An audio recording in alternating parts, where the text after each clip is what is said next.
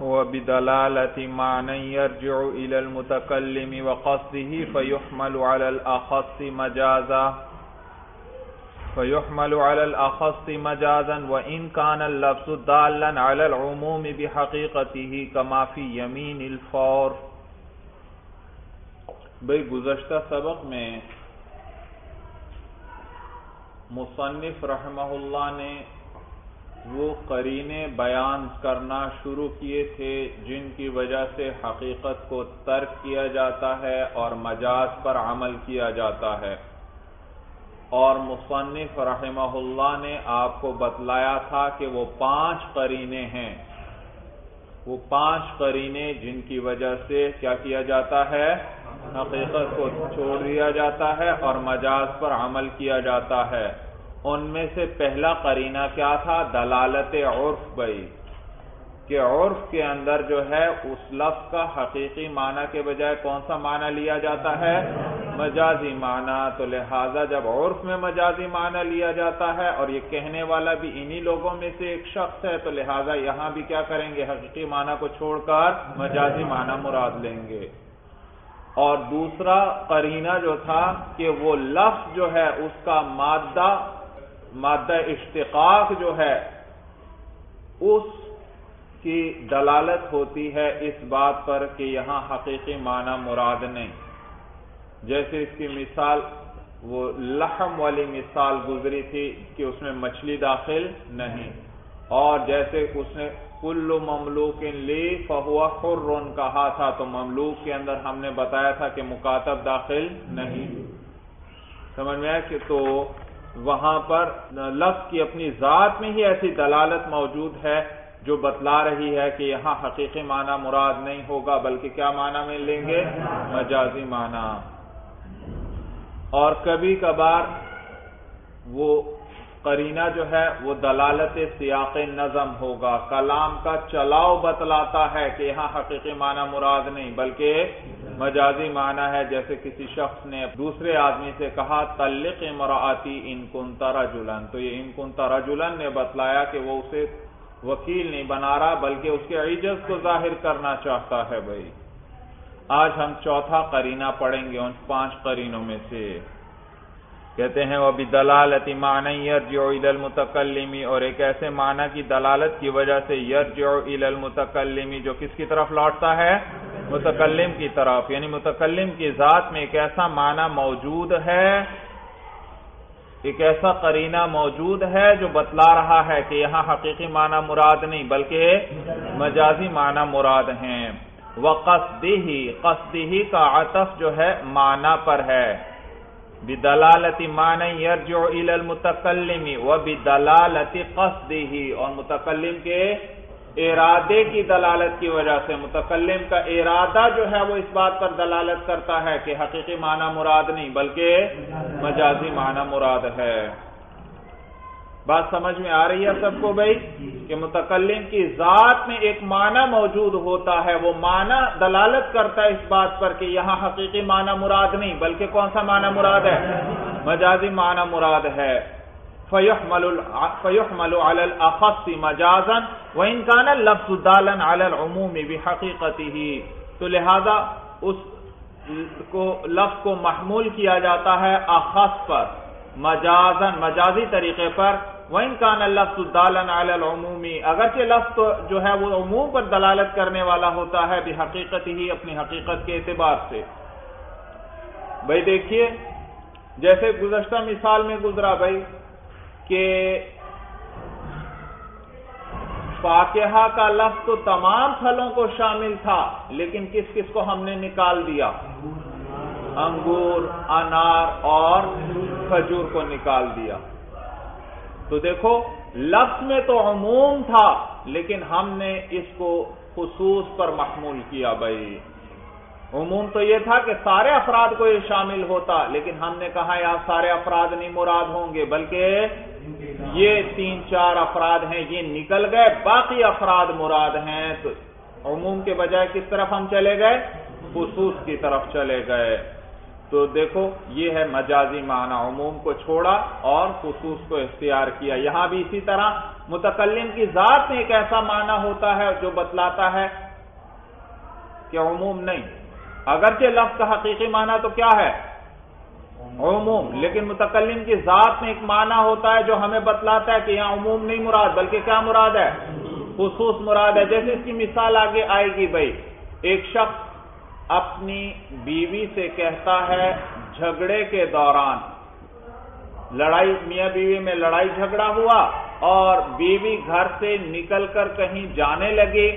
خامن کہنے لگا کہ اگر تو گھر سے نکلی تو تجھے طلاق ہے۔ اگر تو گھر سے نکلی تجھے طلاق ہے۔ ان خرچ تھی فنت طالقن۔ اب دیکھیے، ان خرچ تھی فنت طالقن۔ لفظوں پر غور کیجیے۔ ان لفظوں کا تقاضا تو یہ ہے کہ اس کے بعد اب جب بھی عورت کبھی نکلے، اس کو فوراً کیا ہو جانی چاہیے؟ طلاق ہونی چاہیے۔ ان خراجتی فانت طالقن، اگر تو گھر سے نکلی تو تجھے لیکن خامن نے جس وقت یہ کلام کہا، اس وقت سخت غصے اور غضب کی حالت میں تھا۔ معلوم ہوا اس کے اس کے مراد یہ نہیں ہے کہ جب کبھی بھی تو گھر سے نکلی، بلکہ اس کی مراد یہ ہے کہ اس وقت اگر تو نکلی تو تجھے طلاق ہے بھائی۔ معلوم ہو، وہ غضب کی وجہ سے یہ بات کہہ رہا ہے، یہ غضب اس کے متکلم کی ذات میں موجود ہے۔ اس غضب نے بتلایا کہ اس وقت وہ نکلنے سے روکنا چاہتا ہے، بعد میں نکلنے سے نہیں۔ تو لہذا اس وقت اگر عورت نکل گئی تو اسے طلاق ہو جائے گی۔ اور اگر وہ رک گئی، کچھ دیر ٹھہر گئی، یہاں تک کہ خامن کا غصہ ٹھنڈا ہو گیا۔ پھر اس کے بعد نکلے تو فقہ کرام فرماتے ہیں کہ اب اسے طلاق نہیں ہوگی بھائی۔ تو دیکھو، حقیقی معنی تو یہ تھا، جب بھی نکلے طلاق ہو۔ لیکن ہم نے کہا، ہار نکلنا نہیں مراد، یہ اس وقت نکلنا مراد ہے۔ تو ہم نے ایک فرد مراد لے لیا اس کا بھائی۔ معین فرض کہ اس وقت اگر نکلی خروج، جو بھی خروج ہو، اس پر کیا نہیں چاہیے؟ طلاق، لیکن ہم نے کیا کہا؟ ہر خروج یہاں مراد نہیں۔ اس وقت غصے کی حالت خامد کے غصے کی حالت میں اگر خروج ہوا تو پھر کیا ہو جائے گی؟ تو دیکھو، ہم نے عموم کے بجائے کہ ہم کس کی طرف چلے گئے؟ خصوص کی طرف۔ یہ معین خروج مراد ہوا اور یہ حقیقی معنی ہوا پھر یا مجازی معنی ہوا؟ یہ مجازی معنی، حقیقی معنی تو یہ تھا کہ ہر خروج کی صورت میں اس کو کیا ہونی چاہیے تھی؟ طلاق۔ تو یہ ہم مجازی معنی کی طرف چلے گئے۔ اور کس کی وجہ سے؟ ایک ایسا معنی جو کس کی ذات میں تھا؟ متکلم کی یعنی وہ غضب جو اس کی ذات میں تھا بھائی، اس کی وجہ سے ہم چلے گئے۔ تو اس غضب نے دلالت کی اور بتلایا کہ یہاں حقیقی معنی مراد نہیں، عموم مراد نہیں، بلکہ مجازی معنی ہے یعنی خصوص مراد ہے۔ یہ معنی ہے، دوبارہ دیکھیے بھائی، وہ بھی دلالتی مان المتکلمی، اور ایک ایسے معنی کی دلالت کی وجہ سے جو لوٹنے والا ہے متکلم کی طرف وقت دی اور ایک ایسے اور دلالتی قصد ہی میں نے بتلایا قصد کا آتا کس پر ہے؟ معنی پر۔ اور متکلم کے ارادے کی دلالت کی وجہ سے۔ معلوم ہو، متکلم کا ارادہ یہ ہے کہ اس وقت اس وقت اگر یہ نکلی تو اسے طلاق ہے۔ اس کی یہ مراد نہیں ہے کہ ہر جب بھی نکلے اسے طلاق ہے۔ فیحمل علی الاخص مجازا وان كان اللفظ دالا على العموم بحقیقته تو لہذا اس لفظ کو محمول کیا جائے گا۔ اخص پر، مجازی طریقے پر۔ وان كان اللفظ دالا اگرچہ لفظ دلالت کرنے والا ہے عموم پر بحقیقته اپنی حقیقت کے اعتبار سے، کما فی یمین الفوری، جیسے کہ اس کے اندر ہوتا ہے یمین فور کے اندر۔ اس کو یمین فور کہتے ہیں بھائی۔ یہ جو غصے کی حالت میں خامن نے اس کی طلاق کو معلق کر دیا خروج دار پر، اس کو کیا کہتے ہیں؟ یمین یمین فور کہتے ہیں۔ آگے بتلائیں گے، یہ مشتق ہے فارت القدر سے۔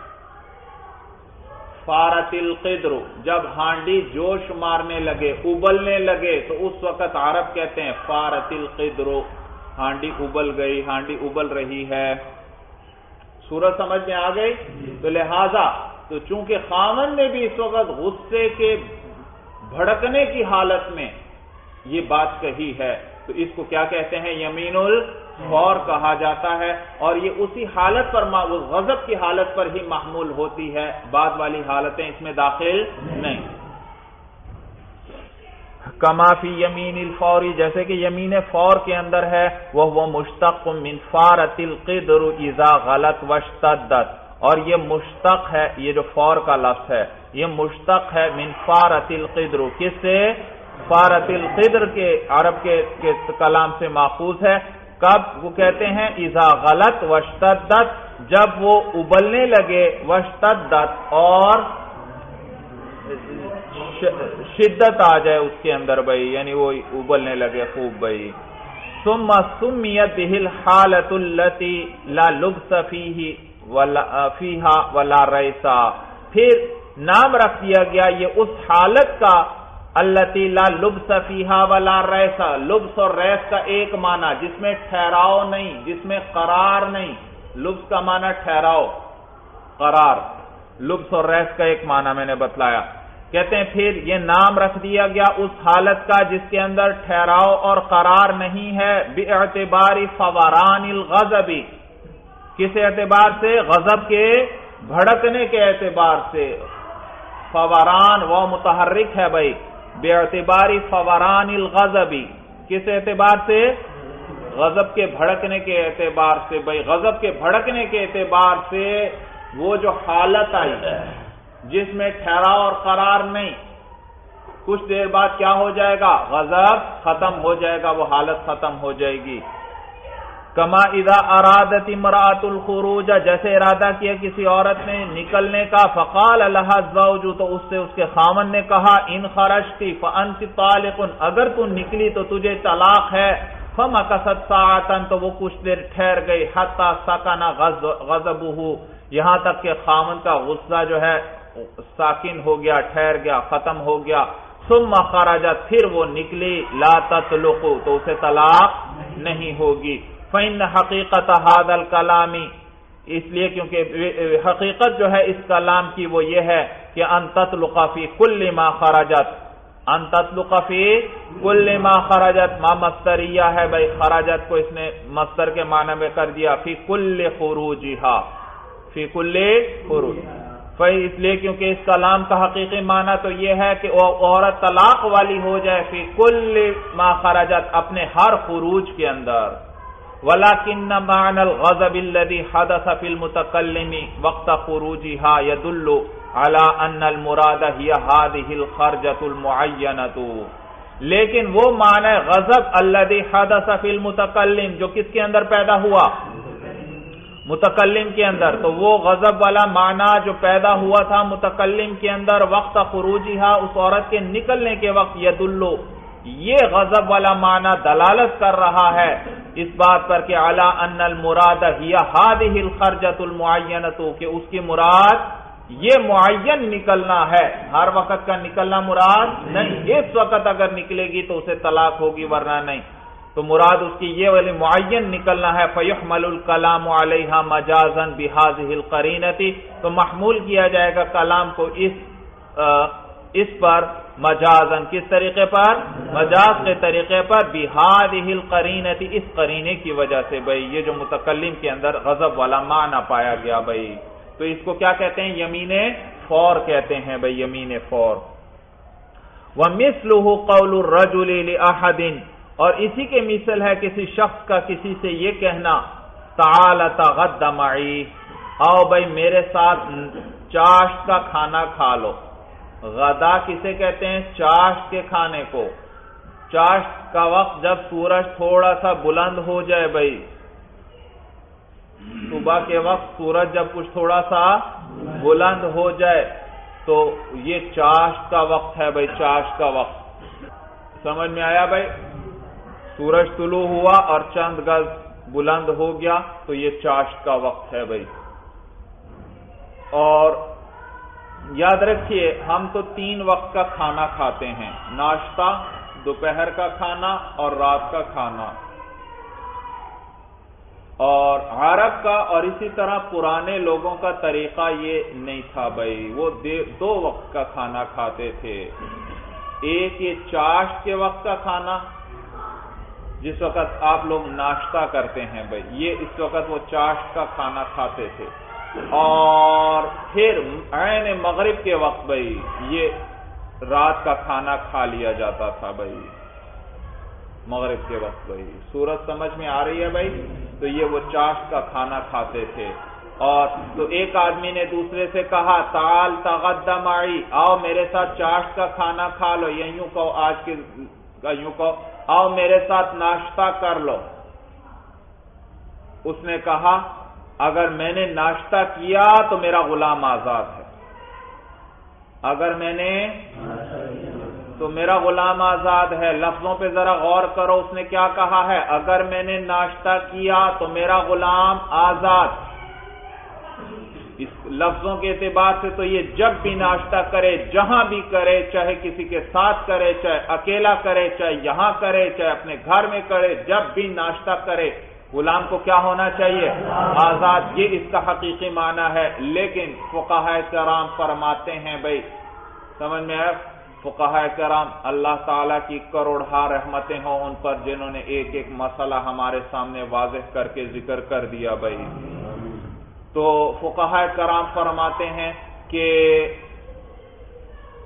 یہ آدمی اگر اس وقت اس شخص کے ساتھ ناشتہ کر لے گا، یہ کھانا کھا لے گا، جس کی طرف وہ دعوت دے رہا ہے، تو اس کا غلام آزاد ہوگا۔ اور اگر اس وقت کے بعد یہ کہیں اور ناشتہ کرتا ہے، خود کرتا ہے، اپنے گھر کرتا ہے، اس صورت میں غلام آزاد نہیں ہوگا بھائی۔ سمجھ میں آیا بھائی؟ کہ معلوم ہوا متکلم کی مراد جو ہے وہ یہ متعین ناشتہ اور متعین چاشت کا کھانا ہے جس کی طرف اس کو بلایا جا رہا ہے۔ ہر چاشت کا کھانا اس کی مراد نہیں ہے بھائی۔ وہ مصر قول الرجل احدین اور اسی کی مثل ہے کسی شخص کا کہنا کسی ایک سے تعال تغدم آئی اور ناچاشت کا کھانا کھاؤ میرے ساتھ۔ فقال تو اس نے کہا دوسرے نے، ان تو فعبدی حرن اگر میں نے چاشت کا کھانا کھایا تو میرا غلام آزاد ہے، فَإِنَّ حَقِيقَتَهُ أَن يَعْتِقَ عَبْدُهُ أَيْنَمَا تَغَدَّى. بس اس کلام کی حقیقت تو یہ ہے کہ اس کا غلام آزاد ہو جائے اینما تغدا جہاں بھی وہ چاشت کا کھانا کھائے سوا ان کا نما دائی او وحدہ فی بیتی ہی برابر ہے کہ چاہے وہ اس دعوت دینے والے کے ساتھ کھائے، او وحدہ یا اکیلا ہی فی بیتی ہی اپنے گھر میں، ہر جگہ ہونا چاہیے غلام کو آزاد۔ ولیکن معنت تغدیت اللتی حدث فی المتکلم حینئذن لیکن تغدیہ کا وہ معنی جو پیدا ہوا متکلم کے اندر، چاشت کا کھانا کھانے کا وہ معنی جو پیدا ہوا متکلم کے اندر حینئذن اس وقت یدلو، یہ دلالت کرتا ہے علی ان المراد هو الغداء المدعو الیہ، کہ اس کی مراد کیا ہے؟ وہ چاش کا کھانا ہے، المدعو الیہ، جس کی طرف اس کو دعوت دی گئی ہے، حال کونہی معدعی اس حال میں کہ یہ کس کے ساتھ ہو؟ دعوت دینے والے کے ساتھ۔ یہ چاش کا کھانا جو اس دعوت دینے والے کے ساتھ ہو، وہ والا چاش کا کھانا مراد ہے۔ لہذا ابھی جا کر اگر اس کے ساتھ وہ بیٹھ کر کھانے لگ پڑا تو غلام آزاد ہو جائے گا۔ اگر بعد میں کھاتا ہے تو پھر غلام آزاد نہیں یا کہیں اور گھر پر جا کر کھاتا ہے تو۔ مانا سمجھ میں آ گیا کہ ان المرادہ الغدا المدعو الیہ خال کونہی معدعی کہ مراد وہ چاش کا کھانا ہے جس کی طرف اس کو دعوت دی گئی ہے، اس حال میں کہ وہ دعوت دینے والے کے ساتھ ہے بھائی۔ فیحمل علیہ تو اسی پر اس کو محمول کیا جائے گا قسم کو فیحمل علیہ فقط، تو صرف اسی پر قسم کو محمول کیا جائے گا ہر تالا تغدا بعد ذالک فی بیتہ یہاں تک کہ اگر اس نے چاشت کا کھانا کھایا، اس کے بعد اپنے گھر میں لا یحنسو تو وہ حانس نہیں ہوگا، ولا یاتق عبدہ اور اس کا غلام بھی آزاد نہیں ہوگا۔ یہ چوتھا کرینہ تھا مولانا۔ اب پانچواں کرینہ ذکر کر رہے ہیں۔ وہ بھی دلالتی محل کلامی اور محل کلام کی دلالت کی وجہ سے۔ محل کلام کی دلالت کی وجہ سے بھی حقیقت کو چھوڑ دیا جاتا ہے مولانا۔ محل کلام سے مراد ہے وہ موقع جس پر کلام کیا جائے اور وہ کلام جس کے ساتھ متعلق ہو گئی، جس ذات کے ساتھ متعلق ہو گئی۔ تو کہتے ہیں دلالتی محل کلام محل کلام کی دلالت کی وجہ سے، وعدم صلاحیت ہی للمان الحقیقی اور بوجہ اس کلام کہ معنی حقیقی کی صلاحیت نہ رکھنے کے، کیونکہ وہ کلام کیا ہے؟ معنی حقیقی کی صلاحیت نہیں رکھتا۔ لزوم القذبی بوجہ جھوٹ کے لازم آنے کے، فی من، اس ذات کے اندر ہوا معصوم عنہ جو جھوٹ سے معصوم ہے، جھوٹ سے محفوظ ہے بھائی۔ سورج سمجھ میں آ گئی بھائی؟ یعنی حضور صلی اللہ علیہ وسلم ہے بھائی، فلا يحمل على المجازی، لہذا ضروری ہے کہ اس کو مجاز پر محمول کیا جائے۔ بھائی، کلام کا اگر حقیقی معنی ہم مراد لیتے ہیں تو اس طرف، اس صورت میں جھوٹ لازم آتا ہے اور جھوٹ کی نسبت کرنا پڑے گی۔ اس ذات کی طرف جو جھوٹ سے معصوم ہے بھائی، جھوٹ سے محفوظ ہے یعنی حضور صلی اللہ علیہ وسلم بھائی۔ تو لہذا اب جب حقیقی معنی پر محمول کرتے ہیں تو کیا لازم آتا ہے؟ جھوٹ۔ لہذا اس کو کس پر محمول کرنا پڑے گا؟ مجازی معنی پر قول علیہ السلام، جیسے حضور علیہ السلام کا قول ہے ان نمل اعمال بالنیات، اعمال کا دار و مدار نیتوں پر ہے فن مانا مانا الحقیقی اس لیے کیونکہ اس کلام کا معنی حقیقی یہ ہے کہ اللہ تو جدا اعمال الجوارح اللہ بنیتی کہ نہ پائے جائیں جوارح یعنی اعضاء کے اعمال اللہ بنیتی مگر نیت کے ذریعے وہ ہوا قذب اور یہ یہ والا معنی تو جھوٹ ہے بھائی۔ ظاہری معنی کیا ہے؟ اس کلام کا معنی حقیقی بھائی۔ اعمال کا دار و مدار نیتوں پر ہے۔ یعنی نیت ہے تو عمل پایا جائے گا۔ نیت نہیں تو عمل بھی نہیں۔ حالانکہ ایسا تو نہیں۔ ہم تو بہت مرتبہ کوئی کام انسان کرتا ہے، اس کی توجہ ہی نہیں ہوتی، نیت ہی نہیں ہوتی اس کام کی بھائی۔ تو بغیر نیت کے کام پایا گیا یا نہیں پایا گیا؟ تو لہذا اگر حقیقی معنی مراد نے تو اس صورت میں یہ کلام کیا ہو جاتا ہے؟ جھوٹ ہوگا مولانا۔ تو کہتے ہیں، اس لیے کہ اس کا حقیقی معنی یہ ہے کہ اعمال، جوارح اعضاء کے اعمال جو ہیں نہیں پائے جاتے، مگر نیت کے ذریعے وہ ہوا قاضبون اور جھوٹ ہے۔ ان اکثر ما يقع العمل من نافی وقت قلوب الذهن عن النیت اس لیے کہ اکثر واقع ہوتا ہے، عمل ہم سے ایسے وقت کے اندر کہ ہمارا ذہن خالی ہوتا ہے نیت سے۔ فلا بد يحمل على المجاز۔ پر ضروری ہے کہ اس کلام کو مجاز پر محمول کیا جائے۔ ای ثواب الاعمال او حکم الاعمال بالنیات یعنی ثواب یا حکم کا لفظ مضاف محذوف نکالا جائے بھائی۔ یعنی اعمال کا ثواب جو ہے، اس کا دار و مدار کس پر ہے؟ نیت پر ہے۔ نیت اچھی ہوئی تو ثواب ملے گا، نیت ٹھیک نہ ہوئی تو ثواب نہیں ملے گا بھائی۔ یا حکم الاعمال اعمال کا حکم کا دار و مدار کس پر ہے؟ نیتوں پر ہے یعنی آخرت کے اندر بھائی۔ اگر کیا ہوگا؟ اس پر جو سزا یا جزا جو ملے گی سمجھ میں آیا؟ اس کا دار مدار کس پر ہے؟ نیت پر ہے بھائی۔ حکم العمال سے کیا مراد ہے؟ سزا یا جزا بھائی۔ سزا یا جزا جو ہے اعمال کی بن نیتی اس کا دار و مدار کس پر ہے؟ نیت پر ہے بھائی۔ نیت ٹھیک ہوگی تو اچھا بدلہ ملے گا۔ نیت اچھی نہ ہوئی تو پھر جی سزا میں ہوگی بھائی۔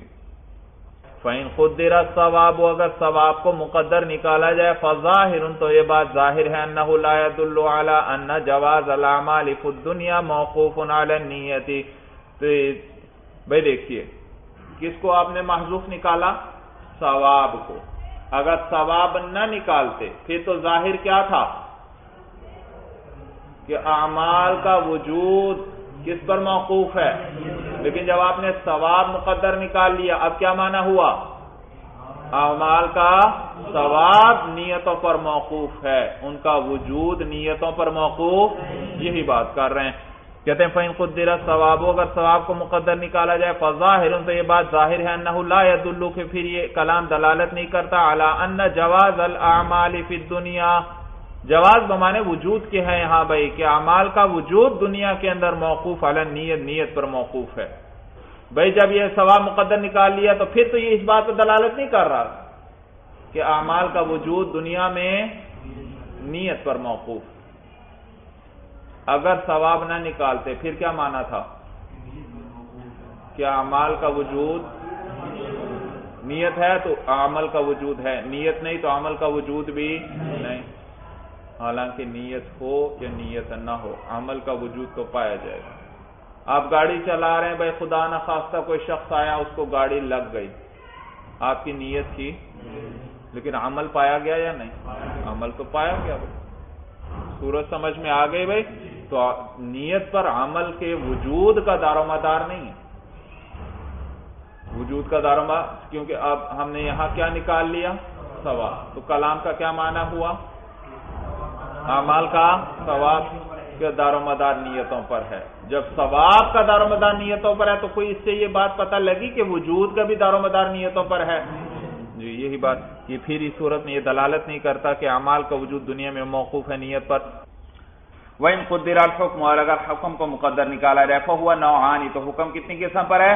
دو قسم پر ہے، دنیاوی، ایک دنیاوی حکم ہے، قد سے خطیب الفسادی جیسے کہ صحیح ہونا اور فاسد ہونا۔ صحیح ہونا اور یہ دنیاوی حکم ہے۔ وہ اخروی اور دوسری قسم کیا ہے حکم کی؟ اخروی ہے۔ کس ثوابی والعقابی جیسے کہ ثواب اور عقاب، بھائی۔ والاخروی مراد بالاجماع بیننا و بین الشافعی رحمہ اللہ تعالی۔ اور اخروی مراد ہے بالاجماع ہمارے اور ہمارے اور امام شافعی رحمہ اللہ کے درمیان، بھائی۔ فلا يجوز ان يراد الدنیاوی ایضا۔ بس جائز نہیں ہے کہ دنیاوی بھی مراد ہو۔ اما عندہ امام شافعی رحمہ اللہ کے نزدیک، ان کے نزدیک بھی دنیاوی اب مراد نہیں فَلِأَنَّهُ يَلْزَمُ عُمُومَ الْمَجَازِ اس لیے کیونکہ صورت میں کیا لازم آتا ہے؟ عموم المجاز بھائی فَلِأَنَّهُ يَلْزَمُ عُمُومُ الْمَجَازِ کیونکہ کیا لازم آتا ہے؟ عموم مجاز، حالانکہ امام شافعی رحمہ اللہ عموم مجاز کے قائل نہیں بھائی۔ وہ اما آئندنا اور ہمارے نزدیک فلی یلزم عموم المشترکی کیونکہ اگر دنیاوی بھی مراد لیا جائے تو اس صورت میں کیا لازم آتا ہے؟ عموم مشترک لازم آتا ہے اور حالانکہ عموم مشترک ہمارے نزدیک جائز نہیں بھائی۔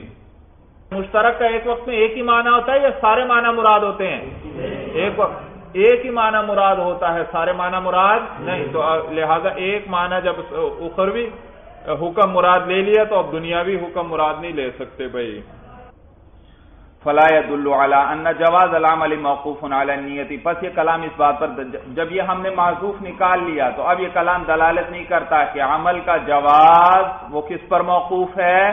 نیت پر. اب یہ معنی نہیں رہے. فلا تکون النیت فرضا فی الوضوء على ما قال الشافعی رحمہ اللہ. پس نیت فرض نہیں ہوگی وضو کے اندر جیسے بنا بر اس کے جو امام شافعی رحمہ اللہ نے فرمایا.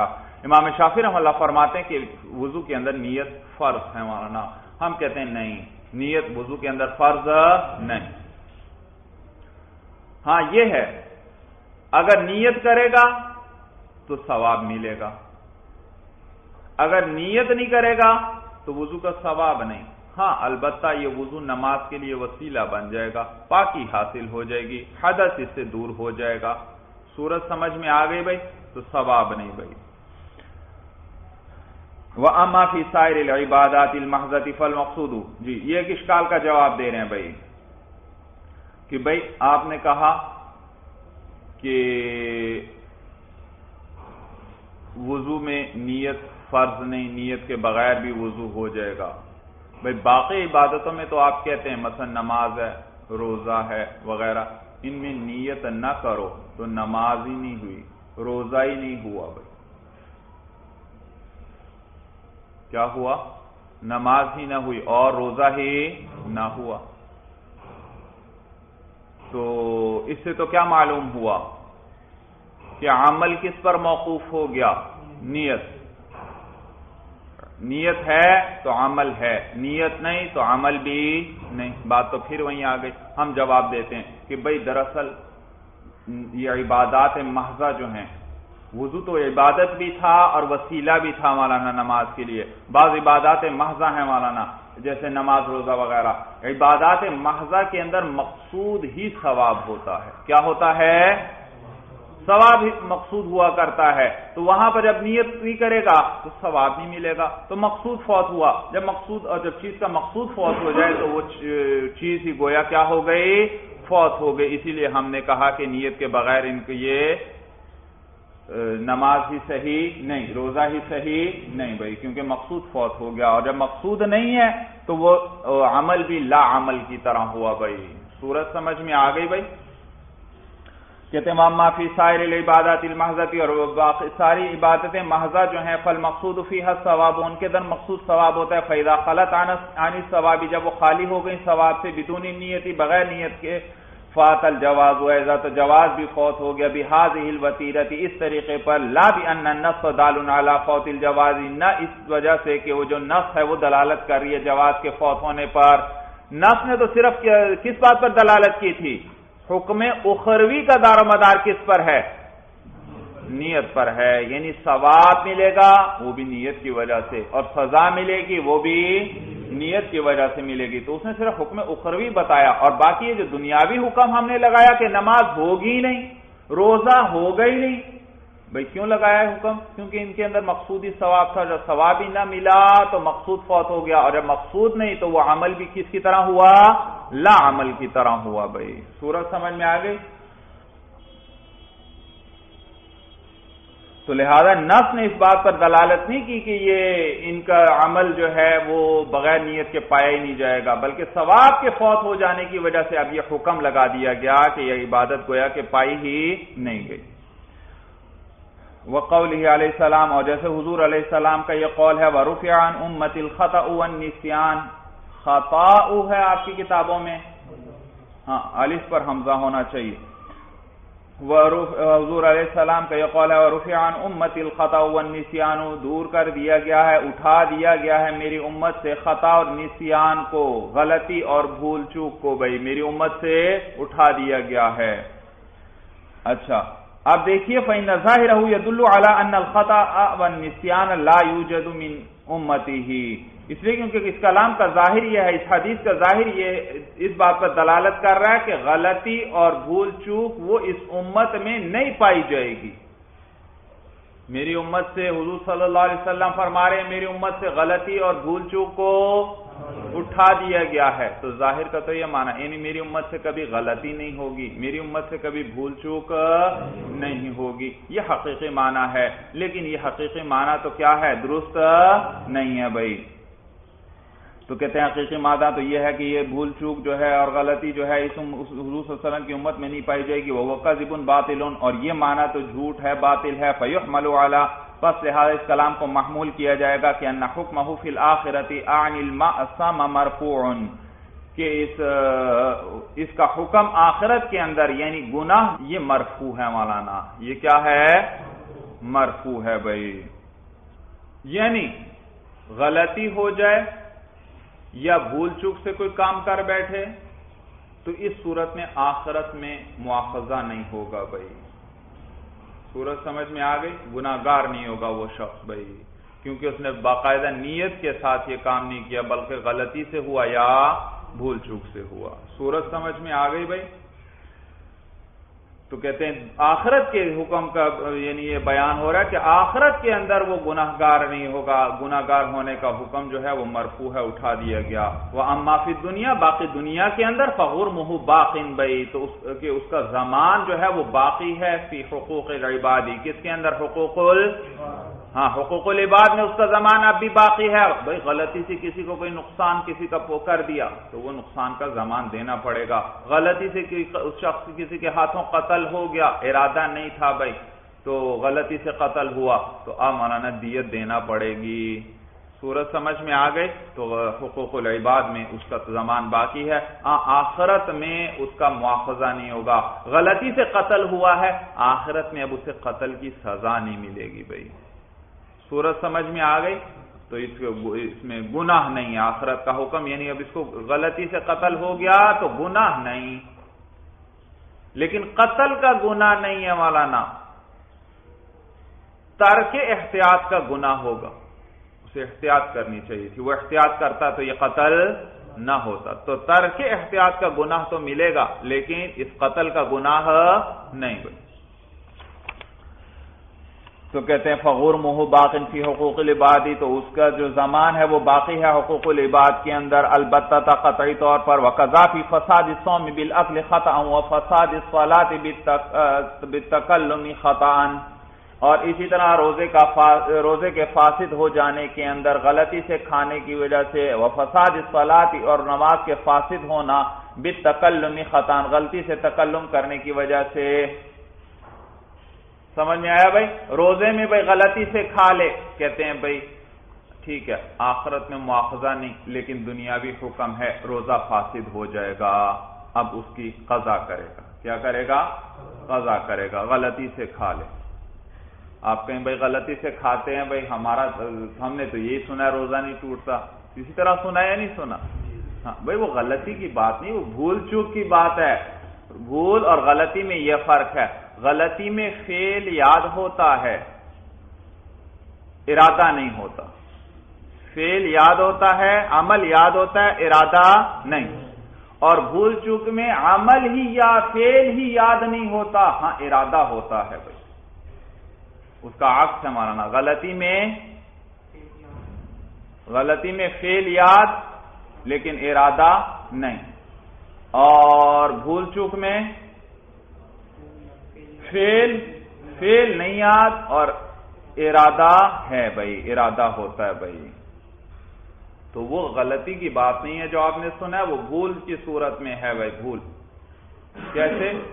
بھائی آپ کا روزہ ہے، آپ گھر آئے اور خیال ہی نہیں رہا آپ کو روزے کا۔ پانی پڑا ہوا تھا، آپ نے پانی اٹھایا اور پی گئے بھائی۔ بعد میں خیال آیا۔ تو دیکھو، یہ یہ بھول میں آپ نے کیا کیا ہے؟ پانی پیا، اس صورت میں روزہ نہیں ٹوٹے گا۔ لیکن ایک غلطی سے آپ وضو کر رہے تھے مولانا۔ وضو کے بھائی، آپ کو روزہ یاد ہے اچھی طرح؟ آپ کلی کر رہے تھے۔ غلطی سے کیا ہوا؟ کچھ پانی پیٹ میں چلا گیا۔ سورج سمجھ میں آ گئے تو اب اس صورت میں روزہ ٹوٹ جائے گا مولانا۔ دیکھو، پانی حلق میں چلا گیا۔ روزہ یاد تھا۔ لیکن پانی وہ جو حلق میں گیا، اس کا ارادہ نہیں سورج سمجھ میں آ گئی اور بھول کر پانی پیا تھا۔ اس وقت روزہ یاد نہیں تھا۔ ہاں پانی ارادے سے پیا بھائی۔ تو فرق سمجھ میں آیا بھائی؟ تو کہتے ہیں وہ قدافی فساد سومی بل عقل خطان، اور اس طرح روزے کے فاسد ہونے کے اندر بھائی بل عقل خطان، غلطی سے کھانے کی وجہ سے وہ فساد سولاد بل خطان، اور اسی طرح نماز کا فاسد ہو جانا، غلطی سے تکلم کرنے کی وجہ سے۔ بھائی آپ نماز پڑھ رہے تھے، آپ کا ایک ساتھی کمرے میں آیا، داخل ہوتے ہی اس نے کہا، السلام علیکم. آپ کی توجہ نہیں تھی، آپ نے کہا، وعلیکم السلام ورحمۃ اللہ وبرکاتہ. سمجھ میں آیا بھائی؟ نماز کا تو خیال تھا آپ نماز میں ہیں، لیکن غلطی سے کیا ہوا؟ بے دھیانی میں آپ نے جواب دے دیا مانا نا تو اس صورت میں نماز فاسد ہو جائے گی بھائی۔ تو کہتے ہیں فلاح تمسک بھی شافعی رحم اللہ فی بقا فلاطی وسوامی پس لحاظت صحیح نہیں ہے، استدلال کرنا، اس کے لیے امام شافی رحم اللہ کا نماز اور روزے کے باقی ہونے کے اندر، امام شافی رحم اللہ فرماتے ہیں نماز اور روزے کے اندر جیسے کہ نماز اور روزے کے اندر بھائی، روزے کے اندر اگر غلطی سے کھا لیا یا نماز کے اندر غلطی سے تکلم کر لیا، تو اس صورت میں یہ باقی رہیں گے۔ اسے کہ حضور علیہ السلام نے کیا فرمایا؟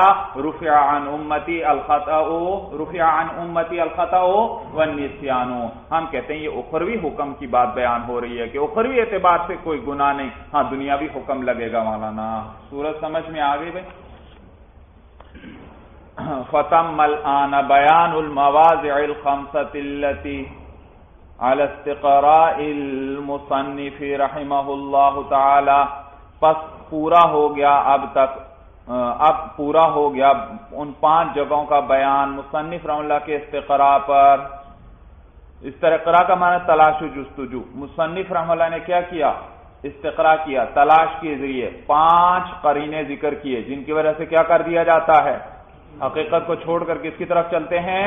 مجاز کی طرف، مجاز پر عمل کرتے ہیں۔ وہ فی کلام ان کمالا اقفا اور اس کے اندر کلام ہے، جیسے کہ مخفی نہیں ہے مولانا، جیسے کہ یہ بات مخفی نہیں۔ سمجھ آیا؟ شارخ نے وہاں بھی شروع میں بھی جب یہ بحث شروع ہونے لگی، ذکر کیا تھا اعلی بھائی مصنف کا یہ گمان ہے کہ یہ پانچ قرینے ہیں۔ حالانکہ یہ بات درست زعم کا لفظ استعمال کیا تھا۔ اب پھر کہہ رہے ہیں اس کے اندر کلام ہے، جیسے کہ یہ بات مخفی نہیں ہے بھائی۔ کیا مراد ہے؟ کہتے ہیں شاید شارح کی مراد یہ ہے کہ جو مصنف نے کہا کہ پہلی پہلی قسم کیا، کون سا قرینہ ذکر کیا کہ بھی حقیقت کو ترک کیا جاتا ہے، کس کی وجہ سے؟ دلالت اور اس کی وجہ سے۔ دوسرا کیا تھا؟ دلالت لفظ کی وجہ سے، کہتے ہیں دلالت لفظ بھی داخل ہے، دلالت عرف میں۔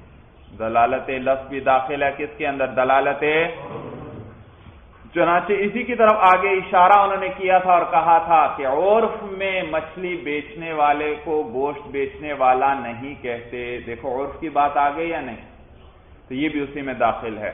اور اسی طرح آگے کہا تھا، کلام کا چلاؤ، کلام کے چلاؤ کی دلالت کی وجہ سے۔ کہتے ہیں، یہ بھی دلالت عرف میں داخل ہے۔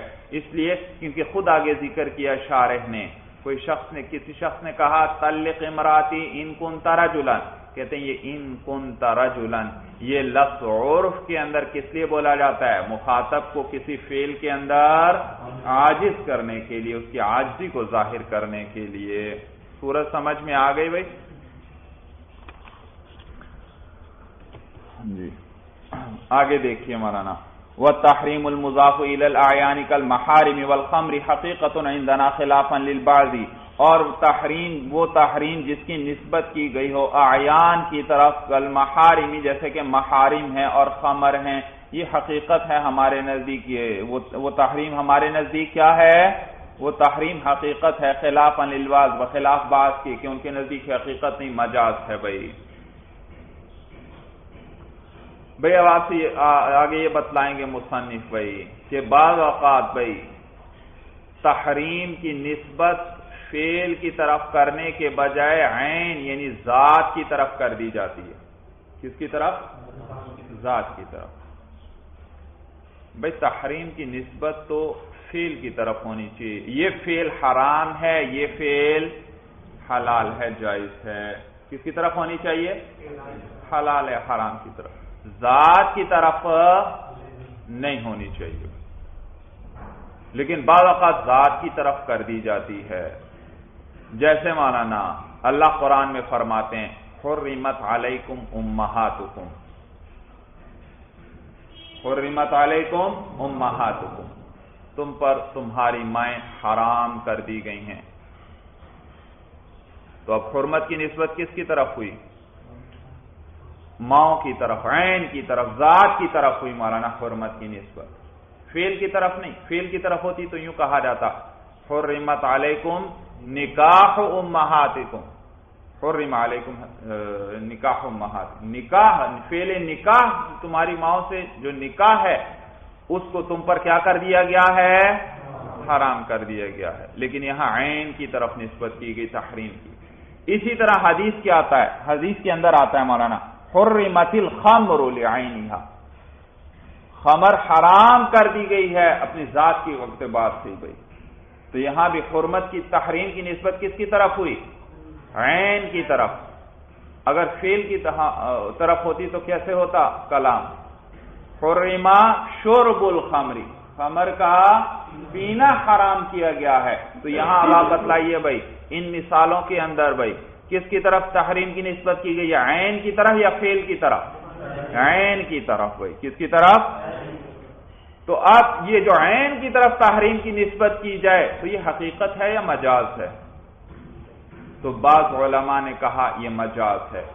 مصنف ان کو رد کر رہے ہیں، کہتے ہیں نہیں، جب تحریم کی نسبت عین کی طرف کی جائے، تو یہ ہمارے نزدیک کیا ہے؟ حقیقت ہے۔ یہ حقیقت پر محمول ہوگا کلام بھائی، مجاز نہیں ہے یہ۔ یہی بات کر رہے ہیں، کہتے ہیں، وہ تحریم المضاف العیانی اور وہ تحریم جس کی نسبت کی گئی ہو آیان کی طرف یعنی عین کی طرف، کل محارمی والخمری جیسے کہ محارم اور خمر ہے۔ حقیقت محارم، بھائی، وہی محرم کی جمع ہے جن کے ساتھ ہمیشہ ہمیشہ کے لیے کیا ہے؟ نکاح کو حرام قرار دیا گیا ہے۔ کل محارم والخامری جیسے کہ محارم اور شراب ہیں۔ تو یہ جو تحریم ہے جس کی نسبت کی گئی ہے آیان کی طرف حقیقت عندنا، یہ تحریم کیا ہے؟ حقیقت ہے ہمارے نزدیک خلاف للبازی بخلاف بعض علماء کے۔ جی شارح بتلا رہے ہیں کہ جملت مبتدا کہ یہ ائی حاضی جملہ مبتدا یہ جملہ ہے، نیا، الگ جملہ ہے تتمت القولی ہی اور یہ تکمیلہ ہے اس کے لیے تکمیل کر رہے ہیں۔ تو یہ تکمیلہ ہے لقول ہی مصنف کے قول، اس قول کا وہ بھی دلالتی محل الکلامی کہ کبھی کبھار حقیقت کو ترک کر دیا جاتا ہے۔ کس کی وجہ سے؟ محلے محل کلام کی دلالت کی وجہ سے حقیقت کو ترک کر دیا جاتا ہے۔ یہ جملہ اس کی، اس کا تتیمہ ہے۔ کس کیا ہے؟ تتیمہ ہے مولانا۔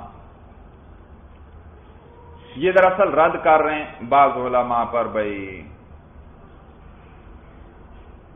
بعض علماء نے کہا کہ یہ تحریم جو ہے، اس کا عطف ماقبل میں جو مثالیں گزری، ان پر ہے مولانا۔ قولی علیہ السلام وقولی علیہ السلام، جیسے وہ مثالیں تھیں، اس پانچویں قرینے کی۔ یہ بھی کیا ہے؟ مثال ہے کس کی؟ پانچویں قرینے کی۔ مولانا مشارے فرماتے ہیں، نہیں بھائی، یہ اس کی مثال نہیں ہے۔ یہ اسی سے متعلقہ بات تو ہے، لیکن اس کی مثال نہیں۔ اس یہ اس کا تتیمہ ہے، مولانا۔ تو کہتے ہیں یہ الگ جملہ ہے اور تتیمہ ہے مصنف کے قول وبی دلالتی محل الکلام اس کا تتیمہ ہے جی ابہارت دن لزام البازی اس کو لایا گیا بعض لوگوں کے گمان کو رد کرنے کے لیے، فَإِنَّهُمْ زَعَمُوا اس لیے کیونکہ انہوں نے یہ گمان کیا تھا کہ ان تحریم المضاف الى العینی کہ وہ تحریم جس کی نسبت کی جائے عین کی طرف کل محارمی فی قولی تعالی جیسے کہ محارم ہے اللہ تعالیٰ کے اس قول کے اندر حرمت علیکم امہاتکم، حرام کر دی گئی ہیں تم پر تمہاری مائیں۔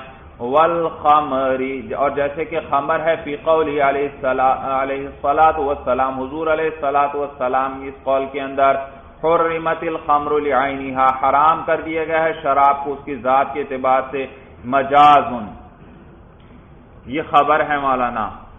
ان کی ان تحریم المضاف العین مجاز بیچ میں صرف مثال ذکر کی تھی کہ یہ جو تحریم جس کی نسبت کس کی طرف کی گئی ہے؟ عین کی طرف، یہ مجاز ہے، بعض لوگوں کا یہ گمان تھا. عن الفعلی یہ تحریم مجاز ہے کس سے؟ فعل سے. یعنی تحریم کی نسبت ذات کی طرف ہے، لیکن دراصل تحریم کس چیز کی کی جا رہی ہے؟ فیل کی. فیل کی سی تحریم ہے. اے کیا فیل اے نکاح امہاتکم و شرب الخمری یعنی یہ امہات کے نکاح کو حرام کر دیا گیا ہے اور شراب کے پینے کو حرام کر دیا گیا۔ تو یہ مجاز ہے فیل سے مولانا۔ فتقون الحقیقت متروکتن بدلالت محل الکلامی۔ پس حقیقت کو چھوڑ دیا گیا۔ کس کی وجہ سے؟ محل کلام کی محل کلام خود دلالت کر رہا ہے، بھائی حقیقت مراد نہیں ہے، کیونکہ تحریم کی نسبت تو فیل کی طرف ہونی چاہیے تھی اور یہاں کس کی طرف نسبت کی جا رہی ہے؟ عین کی طرف کی جا رہی ہے، تو لہذا معلوم ہوا کہ یہ حقیقت پر کلام محمول نہیں ہے۔ بلکہ کون سا معنی کرنا پڑے گا یہاں؟ مجازی معنی۔ تو ماؤ کے حرام ہونے کا کیا معنی ہے؟ کہ ان سے نکاح کو حرام قرار دیا گیا ہے۔ اور شراب کے حرام ہونے کا کیا معنی ہے؟ کہ اس کا پینا حرام ہے مولانا، تو یہ حقیقت نہیں ہے بلکہ مجاز ہے اور یہ کس سے پتا چلا؟ محل کلام کی دلالت سے مولانا۔ یہ بعض علماء کی تقریر چل رہی ہے۔ بعضوں نے یہ گمان کیا تھا کہ کہتے ہیں انہی کی تقریر چل رہی ہے، وہ کہتے ہیں لیا محل عین لا يقبل الحرمت اسی کہ محل جو ہے، وہ تو عین ہے۔ محارم اور خامر، یہ تو عین ہے۔ لا يقبل الحرمت یہ حرمت کو قبول نہیں کرتے، لأن الحل والحرمت من اوصاف الفعل۔ اس لیے کہ حلال ہونا اور حرام ہونا کس کے اوصاف میں سے ہیں؟ فعل کے اوصاف میں سے ہیں۔ تو جواب دے رہے ہیں، اب شارع ذکر کرتے ہیں بھائی، فرماتے ہیں، فقلنا نحن ان هذه الحرمت على حالها وحقيقتها۔ ہم کہتے ہیں کہ یہ جو حرمت ہے اپنے حال اور اپنی حقیقت پر ہی ہے۔ لأنه ابلغ من ان يقول حرمت نکاح امهاتكم اس لیے کیونکہ یہ زیادہ بلیغ ہے، یہ کہنے سے کہ حرمت نکاح امهاتكم ایک ہے کہ یوں کہا جائے حرمت نکاح امهاتكم تمہاری ماں کے نکاح کو کیا کر دیا گیا؟ تم پر حرام کر دیا گیا۔ اور ایک یہ کہ تمہاری ماں کو تم پر حرام کر دیا گیا۔ یہ ابلغ ہے مولانا۔ کیا ہے؟ ابلغ ہے، نہیں کے اندر بھائی۔ وزالک اور یہ اس وجہ سے لین الحرمت نوعانی اس لیے کیونکہ حرمت دو قسم پر ہے نو یلاق الفعل، ایک وہ نوع ہے جو فیل کے ساتھ ملتی ہے یعنی کبھی تحریم حرمت جو ہے، وہ فیل کے ساتھ ملتی ہے۔ جیسے مثال کیا ذکر ہوئی، بھائی، حرمت نکاح ہو تو یہاں نہیں کس کے ساتھ مل گئی؟ فیل کے ساتھ۔ اور کبھی نہیں کس کے ساتھ ملتی ہے؟ عین کے ساتھ، جیسے حرمت علیکم امہاتکم۔ تو کہتے ہیں اس لیے کیونکہ حرمت دو قسم پر ہے نو یلاق الفیلا ایک وہ نو ہے جو فیل کے ساتھ ملتی ہے فیقون العبد ممنوعا والفعل ممنوعا عنہ۔ تو اس صورت میں عبد بندہ جو ہے وہ ممنوع ہوا، روکا گیا ہوا، روکا گیا ہے۔ والفعل ممنوعا عنہ۔ اور فیل کیا ہو جاتا ہے؟ ممنوع عنہ یعنی اس جس سے، اس سے روکا گیا ہے۔ جی۔ جبکہ فیل کیا ہوتا ہے؟ بندہ ممنوع ہوتا ہے اور فیل ممنوع عنہ ہو جاتا ہے، جبکہ وہ محل اپنے حال پر باقی رہتا ہے یعنی اس میں فیل کی قابلیت ہوتی ہے فیل کو وہ قبول کر سکتا ہے۔ وہ نو دوسری قسم نو یولاق المحلہ، کہ وہ حرمت کس کے ساتھ ملتی ہے؟ محل کے ساتھ۔ فیخرج المحل من ان یکون مباحن تو وہ محل کو مباح ہونے سے نکال دیتی ہے۔ وہ محل مباح رہتا ہی نہیں، بلکہ وہ محل ہی کیا ہو جاتا ہے؟ حرام وہ سار العین ممنوع اور وہ عین ہی کیا ہو جاتی ہے؟ ممنوع۔ والعبد ممنوع عنہ، اور بندہ ممنوع عنہ اس سے روکا گیا ہے۔ وہذا ابلغ الوجہین فی المنع۔ اور یہ دو وجہوں میں سے زیادہ بلیغ ہے منع کے اندر بھائی۔ دو وجہ میں۔ فین الاول اسے کیونکہ پہلا جو ہے، کما یقال للطفل، جیسے کہا جائے بچے سے، لا تاکل الخبز، روٹی نہ کھاؤ۔ وہ ہوا بین یدیہ اور حال یہ ہے کہ روٹی اس کے سامنے ہے۔ اب دیکھیے، بچے کو روٹی کھانے سے منع کیا گیا، لیکن روٹی اس کے سامنے ہے، تو اب بھی اسے کیا کیا جا سکتا ہے؟ کھایا؟ اس میں صلاحیت ہے، اس کو کیا کیا جائے؟ کھایا جا سکتا ہے، وہ کھائی جا سکتی ہے۔ وسانی اور دوسری قسم یہ ہے کما یورفا الخبز من بین یدہی کہ جیسے روٹی اس کے سامنے سے اٹھا لی جائے وہ یو الح اور سے کہا جائے، لا تاکل نہ کھاؤ بھائی۔ سمجھ تو دیکھو، اب محل ہی وہ روٹی ہی اس میں صلاحیت کھانے کی نہیں رہی اس کے سامنے ہی موجود نہیں ہے، کیسے کھائے اس کو بھائی؟ اگر سامنے ہوتی تو وہ کھا سکتا، سامنے ہی نہیں تو اس کو کھا بھی نہیں سکتا۔ تو کس کے اندر نہیں ابلغ ہے؟ زیادہ روکنا کس صورت میں ہے بھائی؟ جب اس کے سامنے سے روٹی اٹھا لی جائے۔ تو کہتے ہیں، فہو ابھی منزلتی نفی و نفسی تو یہ کس کے درجے میں ہے؟ نفی اور نسخ نفی اور نسخ نفی کے معنی میں ہے بھائی، ایک ہی معنی ہے دونوں کا۔ تو یہ نفی اور نسخ کے معنی میں ہے۔ وہ ابلغ من النہی، اور یہ ابلغ ہے نہی سے، من النہی الحقیقی علامہ مر تقریر نہیں حقیقی سے زیادہ بلیغ ہے، بنا بر اس کے جس کی تقریر گزر گئی بھائی نہیں کی بحث کے اندر بھائی۔ کہ تحریم کی نسبت کس کی طرف ہو؟ آیان کی طرف ہو۔ تو یہ نہیں کے اندر زیادہ بلیغ ہے مانانا زیادہ بلیغ ہے۔ سورج سمجھ میں آ گئی بھائی؟ وقال بعض المعتزلتی، اور بعض معتزلہ نے کہا کہ انہو مجمل ان کی یہ مجمل ہے مولانا، یہ جو تحریم کی جب نسبت کس کی طرف کی جائے؟ آیان کی طرف۔ تو اس صورت میں یہ مجمل ہے۔ بھائی، کیوں مجمل کہتے ہیں؟ ان العین لا يكون حراما۔ اس لیے کیونکہ وہ کہتے ہیں کہ عین جو ہے وہ حرام نہیں ہو سکتی۔ فلا بد من تقدیر الفعل۔ پس ضروری ہے کہ فیل کو مقدر نکالا جائے بھائی۔ وہ ہوا غیر معین، اور وہ تو غیر معین ہے۔ کوئی معین فیل نہیں بھائی، مقدر نکالنا ہے، جو بھی نکال لیں۔ لستوائی جمی الافعال فی اس وجہ سے کہ تمام افعال اس کے اندر برابر ہیں۔ کوئی بھی فیل مقدر نکالا جا سکتا ہے۔ تو لہذا اب وہ متعین نہیں فیل تو لہذا فیجب التوقف، تو اس میں توقف واجب ہے۔ شارح فرماتے ہیں وہ ہوا خلفن اور یہ درست نہیں ہے بھائی۔ یہ درست نہیں ہے بھائی۔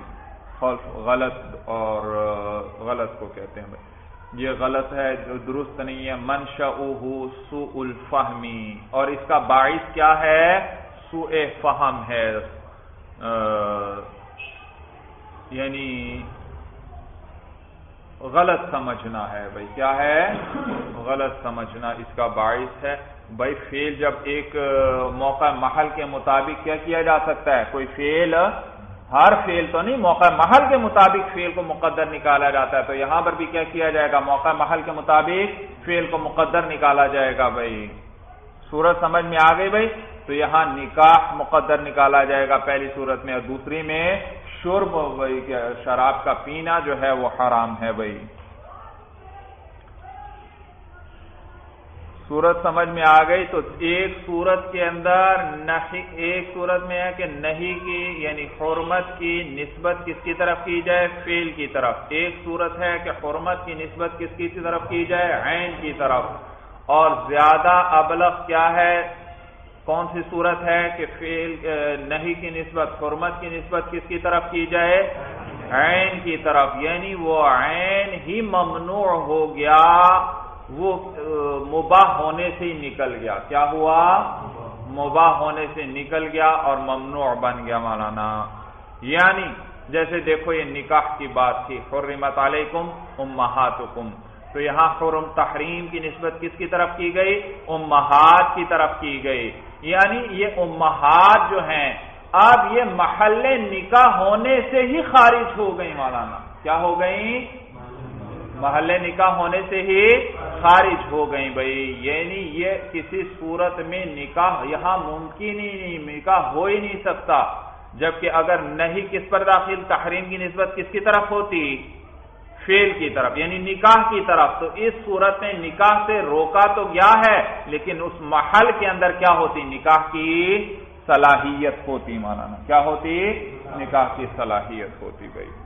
تو جب اس عین کی طرف ہی حرمت تحریم کی نسبت کر دی، تو اب گویا تو اب وہاں پر نکاح کی، نکاح کا امکان ہی نہیں کہ کوئی صورت نہیں بھائی۔ جی آگے دیکھیے، ولما فرغان بیان الحقیقت والمجازی اورد بذیلہما بحث حروف المعانی اور جب مصنف رحم اللہ حقیقت اور مجاز کے بیان سے فارغ ہوئے، تو اورد بذیلہما تو لائے ان کے دامن میں یعنی ان کے تخت میں بحث حروف المعانی، حروف معانی کی بحث کو فقال، اپس فرمایا، وَيَتَّصِلُ بِمَا ذَكَرْنَا حُرُوفُ الْمَعَانِ اور متصل ہے اسی کے ساتھ جو ہم نے ذکر کیا۔ کیا متصل ہے؟ حروف المعانی۔ بھائی، حروف معانی بھی اسی کے ساتھ متصل ہیں، اسی سے متعلق ہیں۔ بھائی، جو ہم نے ذکر کیا کیا ذکر کیا تھا ہم نے؟ یہ جو ہم نے حقیقت اور مجاز کی بحث ذکر کی، اسی سے متصل ہیں حروف معانی بھی، بھائی۔ تصل بالحقیقت والمجاز حروف لها معانی ملے ہوئے ہیں حقیقت اور مجاز کے ساتھ وہ حروف جن کے معانی ہیں۔ حروف نکرایا لہا معانی لہا خبر مقدم معانی مبتدا مؤخر، جملہ اسمیہ نکرہ کے بعد آیا، یہ اس کی صفت بنے گا بھائی۔ تو ایسے حروف جن کے معنی ہیں بھائی کون سے حروف کہتے ہیں؟ الحروف النحویت العاملت وغیر العاملت یہ وہ حروف نحویہ ہیں جو عامل ہیں اور غیر عامل ہیں۔ بھائی حروف آپ جانتے ہیں، کچھ عمل کرتے ہیں، کچھ عمل نہیں کرتے۔ حروف جار ہیں، وہ عمل کرتے ہیں، جر دیتے ہیں۔ حروف عاطفہ ہیں، وہ عمل نہیں کرتے بھائی تو یہ سارے حروف یہ سب آ گئے بھائی فإن في إذا كانت بمعنى الظرفية تكون حقيقة وإن كانت بمعنى على تكون مجازا فإن بس بے شک فی جو ہے، فی. اذا كانت بمعنى یہ جب کس معنی میں ہو؟ ظرفیت کے معنی میں ہو۔ بھئی دیکھیے، فی ظرفیت کے لیے آتا ہے۔ فی ظرفیت کے لیے۔ جیسے میں کہتا ہوں، زید فی الداری۔ کیا معنی؟ زید گھر میں ہے۔ دیکھو یہ گھر میں ہونے کا، یہ گھر کے زید کے گھر کے اندر ہونے کا فائدہ کس لفظ نے دیا؟ فی نے۔ فی نے بتلایا کہ یہ دار ظرف ہے زید کے لیے یعنی زید اس کے اندر ہے۔ تو یہ فی کا حقیقی معنی ہے۔ وہ ظرفیت کے لیے آتا ہے، بتلاتا ہے کہ جس پر داخل ہو رہا ہے وہ ظرف ہے۔ ما قبل کے لیے بھائی، ما قبل کے لیے کیا ہے؟ ظرف اور کبھی یہ فی بمانے اعلیٰ کے آتا ہے، جیسے قرآن میں اللہ فرماتے ہیں، وہ فرعون کا قول ذکر ہے، جو جادوگروں سے اس نے کہا بنکم فی جزوع النخلی میں البتہ تمہیں ضرور سولی دوں گا، فی جزوع النخلی اے علا جزوع النخلی کھجور کے تنوں پر۔ تو یہ فی بمانے اعلی کے ہے، یہاں۔ فی کس معنی میں ہے؟ اعلی کے معنی میں ہے۔ تو یہی بات بتلا رہے ہیں بھائی کہ یہ ان حروف کو لے کر آئے حقیقت اور مجاز کے بعد، کیوں ان کا تعلق حقیقت اور مجاز سے ہے؟ یہ کبھی اپنے حقیقی معنی میں استعمال ہوں گے اور کبھی دوسرے معنی میں۔ اگر اپنے حقیقی معنی میں ہو موضوع لہو میں ہو تو یہ ہے حقیقت۔ اور اگر دوسرے معنی میں ہو تو یہ مجاز ہیں۔ جیسے فی ظرفیت کے لیے آئے تو وہ حقیقت ہے اور اعلیٰ کے معنی میں آئے تو وہ مجاز ہے۔ فعین نفی داکان ابھی مان ظرفیتی بس بے شک یہاں فی جو آیا نا فی اسے لفظ فی مراد ہے۔ سمجھ میں آیا؟ اس لیے ان کا یہ اسم ہے۔ فعین فعین نفی ادا کان بیمان ظرفیتی بس بے شک فی جب وہ ظرفیت کے معنی میں ہو، تکون حقیقت تو وہ حقیقت ہوگا۔ وہ ان کانت بیمان اعلیٰ اور اگر وہ اللہ کے معنی میں ہو، تکون مجازن تو پھر یہ کیا ہوگا؟ مجاز ہوگا۔ وعلا حاضل قیاس اور اسی پر قیاس ہے یعنی اسی پر قیاس کر لیجیے۔ وحترز بها عن حروف المبانی اور احتراز کیا اس کے لیے مصنف نے حروف مبانی سے۔ آنی حروف الحجاء الموضوعات لغرض الترکیب، لا للمعنی. بھئی ایک حروف معانی ہے ایک حروف مبانی. حروف معانی تو یہ جو آپ نحو کے اندر پڑھتے ہیں، بھئی حروف کی مختلف اقسام جو مختلف معانی کا فائدہ دیتے ہیں بھائی کیا کرتے ہیں جو مختلف معانی کا فائدہ دیتے ہیں؟ اور ایک حروف مبانی ہے بھائی وہ جو آپ پڑھتے ہیں۔ قاعدے کے شروع میں الف، با، تا، سا، جیم، خا خا، یہ سارے کیا ہیں؟ حروف مبانی۔ یہ کسی معنی کے لیے وضع نہیں ہے، یہ ترکیب کے لیے وضع ہے کہ ان کو جوڑا جائے، ان کو جوڑ جوڑ کر الفاظ بنائے جاتے ہیں۔ تو یہ حروف مبانی ہیں۔ اور وہ جو نح میں آپ پڑھتے ہیں، وہ کیا ہے حروف معانی جن کو معنی کے لیے وضع کیا گیا ہے۔ تو ماتن نے متن میں حروف کے ساتھ معانی کی قید لگائی۔ معلوم ہوا کس کو نکالنا چاہتے ہیں؟ حروف مبانی کو بھائی کیونکہ ان کو معنی کے لیے وضع کیا ہی نہیں جاتا ان کو تو ترکیب کے لیے وضع کیا جاتا ہے۔ کہتے ہیں وقت رضا عن حروف المبانی عنی حروف الحجائی اور اس کے یہ معنی کی جو قید لگائی، اس کے لیے احتراز کیا حروف مبانی سے یعنی کہ حروف الحجائی یعنی کہ حروف ہجا الموضوعاتی لغرض ترکیبی، وہ جن کو وضع کیا گیا ہو، ترکیب کی غرض کے لیے لال المانا نہ کہ معنی کے لیے۔ وقد ذکر هذا البحث صاحب المنتخب الحسامی ونحوه في خاتمة الكتاب وما فعله المصنف اتباعا للجمهور اولا اور اس بحث کو ذکر کیا ہے صاحب منتخب حسامی نے. حسامی اصول فقہ کی کتاب ہے جو اگلے سال آپ انشاءاللہ پڑھیں گے بھائی. تو صاحب منتخب الحسامی جو ہیں یعنی منتخب حسامی والے نے یعنی ان کے مصنف نے اور ان جیسے اور بعض علماء نے اس بحث کو کتاب کے آخر میں ذکر کیا ہے۔ سب سے آخر میں جا کر۔ اور مصنف نے یہاں پر ذکر کیا حقیقت اور مجاز کے بعد۔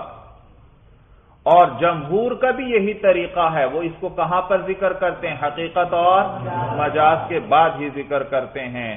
تو ایک طریقہ تھا وہ صاحب منتخب حسامی اور ان جیسے بعض علماء کا، اور یہ یہ طریقہ ہے جمہور کا۔ شارح فرماتے ہیں یہ طریقہ اولا ہے، یہ جو جمہور والا ہے، جس کی اقتدا کی مصنف نے بھی۔ اس لیے کیونکہ اس کا، اس کے ساتھ اتصال بھی ہے بھائی۔ کبھی اپنے حقیقی معنی میں استعمال ہوں گے، اور کبھی مجازی معنی میں، تو ان کا اتصال ہے حقیقت اور مجاز کے ساتھ، تو ان کو یہیں پر ذکر ہونا چاہیے۔ جبکہ صاحب منتخب حسامی وغیرہ اور دیگر مصنفین جو ہیں، انہوں نے کتاب کے آخر میں ذکر کیا۔ آخر میں اس لیے ذکر کیا؟ کیونکہ اس میں حروف کی بحث ہے اور حروف سے بحث یہ تو نحوی کا کام ہے، یہ نحو کا موضوع ہے بھائی۔ لیکن چونکہ ان پر بہت سے مسائل کا بھی دار و مدار ہوتا تھا اور مسائل پر ان حروف کے استعمال سے اثر پڑتا تھا تو مسائل کے ساتھ بھی تعلق تھا، اس لیے ان کو ذکر تو کیا، لیکن کہاں پر کیا؟ آخر میں کیا بھائی؟ وجہ سمجھ میں آئی بھائی؟ کہ انہوں نے اس وجہ سے آخر میں ذکر کیا۔ لیکن شارع فرماتے ہیں، یہ طریقہ والا ہے کہ یہاں ان کو ذکر کیا جائے۔ وقد ذکر هذا البحث صاحب المنتخب الحسامی ونحوه في خاتمة الكتاب۔ اور تحقیق ذکر کیا ہے اس بحث کو۔ صاحب منتخب حسامی نے اور ان جیسے اور مصنفین نے فی خاتمت الکتاب، کتاب کے خاتمے میں یعنی آخر میں، وما فعله المصنف اتباعا للجمہوری اور وہ جو کیا مصنف نے جمہور کا اتباع کرتے ہوئے، اولا، یہ کیا ہے؟ اولا ہے کہ یہاں ذکر کیا۔ ولیکن اطلاق الحروف علی ما ذکرہا ہونا تغلیب لیکن یہاں حروف کا جو اطلاق ہے، بنا بر اس کے جو ذکر کیا گیا، یہ تغلیب ہے، غلبہ دینا ہے۔ بھائی یہاں حروف کی بحث ہے اور حروف ہی کو ذکر ہونا چاہیے، لیکن ساتھ ساتھ کچھ اسما وغیرہ بھی بیچ میں آتے ہیں بھائی جیسے کلمات شرط اور ظرف بھائی یہ اسما ہیں بھائی ذکر کر رہے ہیں حروف کو۔ اور بیچ میں کیا آ رہے ہیں؟ ہاں اسم بھی بیچ میں آ رہے ہیں۔ تو پھر انہوں نے صرف حروف کو کیوں ذکر کیا؟ کہتے ہیں، بھائی، غلبہ دے دیا گیا۔ حروف، چونکہ حروف کی بہت زیادہ ہے، تو ان کو غلبہ دے کر سبھی کو کیا کہہ دیا گیا؟ حروف کہہ دیا گیا، اگرچہ سب حروف نہیں ہیں۔ لِأَنَّ كَلِمَاتِ الشَّرْطِ وَالظَّرْفِ اسْمَاءٌ۔ اس لیے کیونکہ کلمات شرط اور ظرف جو ہیں، وہ اسما ہیں۔ ثم لما كانت حروف العطف اکثرها وقوعا قدمها پھر چونکہ حروف عطف جو ہیں، ان کا وہ زیادہ ہیں بے اعتبار وقوع کے واقع ہونے کے قدمہ ان کو اس لیے کیا کر دیا؟ مقدم کر دیا بھائی۔ سمجھ حروف عاطف جو ہیں وہ زیادہ استعمال ہوتے ہیں، کیونکہ فیل پر بھی داخل ہوتے ہیں، اسم پر بھی داخل ہوتے ہیں مفرت کے لیے بھی آتے ہیں اور جملے کے لیے بھی جملے کے عطف کے لیے۔ فلوا وہ سب سے پہلے واؤ ذکر کریں گے۔ کہتے ہیں فلوا مطلق العطف من غیر تعارض لمقارنت ولا ترتیب۔ کہتے ہیں واؤ جو ہے مطلق عطف کے لیے ہے بغیر مقارنت اور ترتیب کے درپے ہوئے۔ بھائی یاد رکھیے، وہ مطلق جمع کے لیے آتا ہے۔ کس لیے؟ مطلق جمع کے لیے۔ مثلا میں کہتا ہوں جا انی زید و عمر۔ اس کلام کا کیا معنی ہے؟ زید اور عمر میرے پاس آئے ہیں۔ یہ وہ نے بتلا دیا کہ عامر بھی زید کے ساتھ شریک ہے، اس کے ساتھ جمع ہے۔ کس چیز کے اندر؟ مجیعت کے فیل کے اندر۔ باقی اس واؤ نے مقارنت یا ترتیب کا فائدہ نہیں دیا بھائی۔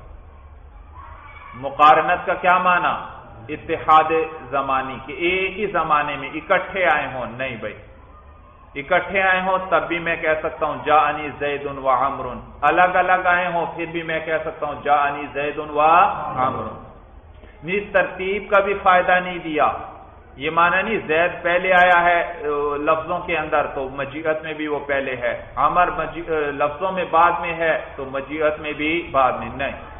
چاہے زید پہلے آیا ہو اور عمر بعد میں، پھر بھی کہا جا سکتا ہے جا انی زید و عمر اگر عمر پہلے آیا ہو اور زید بعد میں آیا ہو، پھر بھی کہا جا سکتا ہے جا انی زید و عمر وہ نے صرف اتنا بتلایا کہ آنے میں دونوں شریک ہیں۔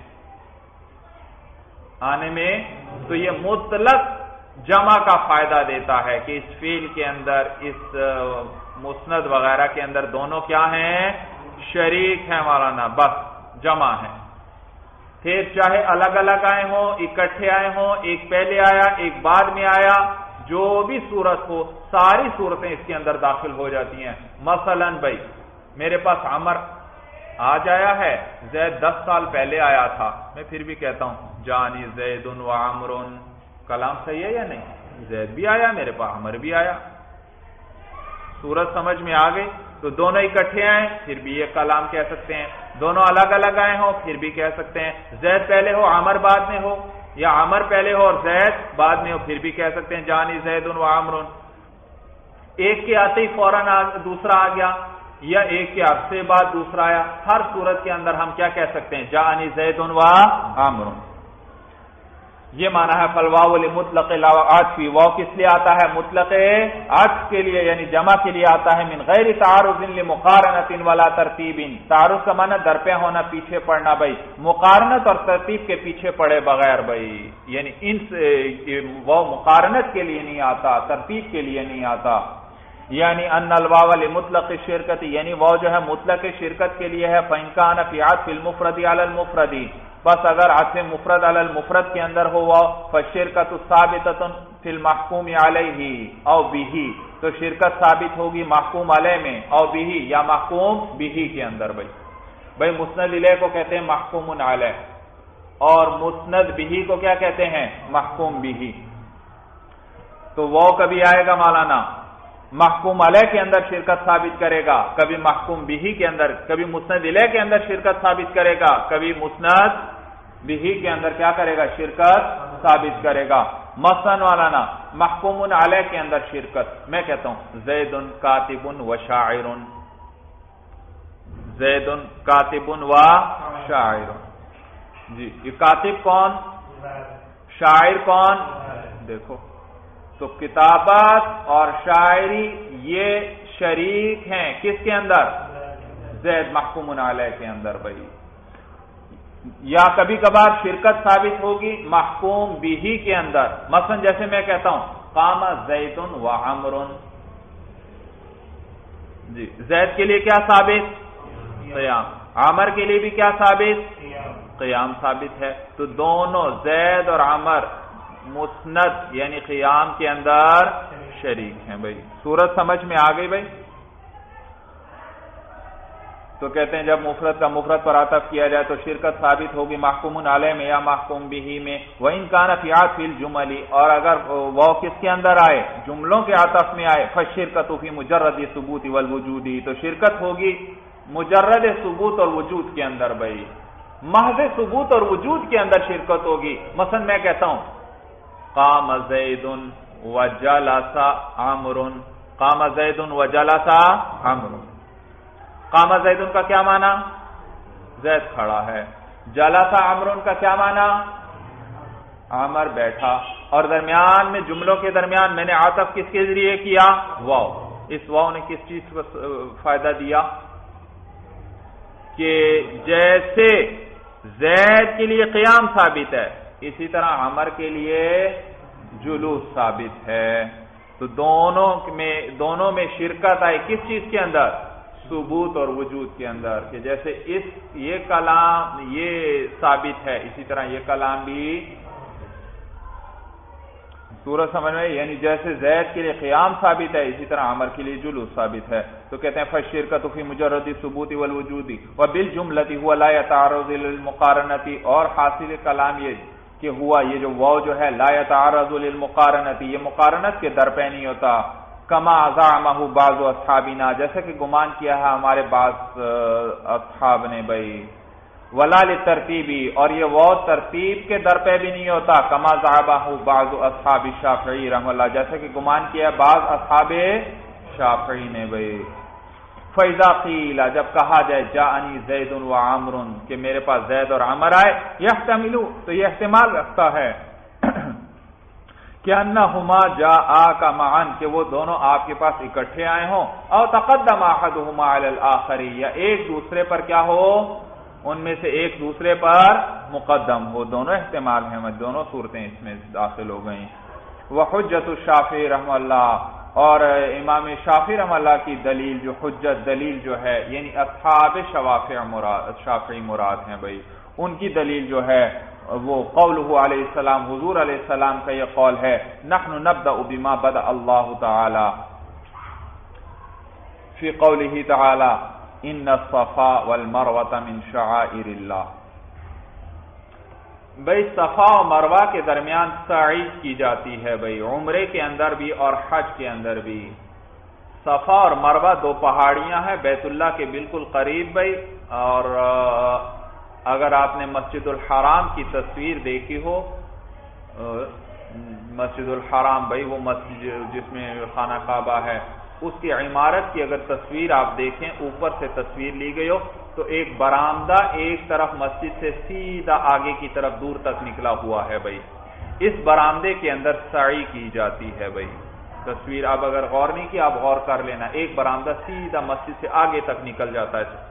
اس میں سعی کی جاتی ہے، اس کا جو بیت اللہ کے قریب والا کونا ہے، اس پہ صفا پہاڑی ہے، اس کے نیچے بھائی اس عمارت میں۔ اور جو دور والا کونا ہے، اس میں مروا پہاڑی ہے۔ اس صفا اور مروا کے درمیان سات چکر لگائے جاتے ہیں عمرے اور حج میں بھائی۔ تو صفا سے مروا تک ایک چکر، پھر مروا سے واپس صفا پہ پہنچے، تو یہ دو چکر شمار ہیں۔ ایک چکر نہیں، بلکہ دو چکر۔ تو اس طرح ساتویں چکر کی انتہا مروا پہاڑی پر ہوگی بھائی۔ تو اب صفا اور مروا کے درمیان سائی کی جاتی ہے۔ اب سائی کی ابتدا کس سے کی جائے گی؟ تو حضور صلی اللہ علیہ وسلم فرماتے ہیں، حدیث میں آتا ہے، بھائی حضور نے فرمایا، نحن نبدا بما بدا اللہ۔ ہم بھی ابتدا کرتے ہیں اس سے جس سے اللہ نے ابتدا کی۔ اور اللہ کے اس قول کو اللہ کی یہ قول، یہ آیت حضور صلی اللہ علیہ وسلم نے تلاوت کی۔ ان صفا والمروہ من شاعر اللہ صفا اور مروہ کیا ہیں؟ اللہ کے شاعر میں سے ہیں اللہ شاعر علامت کو کہتے ہیں، اللہ کی عبادت کی علامتوں میں۔ تو دیکھیے، یہاں پر آیت کے اندر کس کو پہلے ذکر کیا گیا ہے؟ صفا۔ درمیان میں وہ آیا۔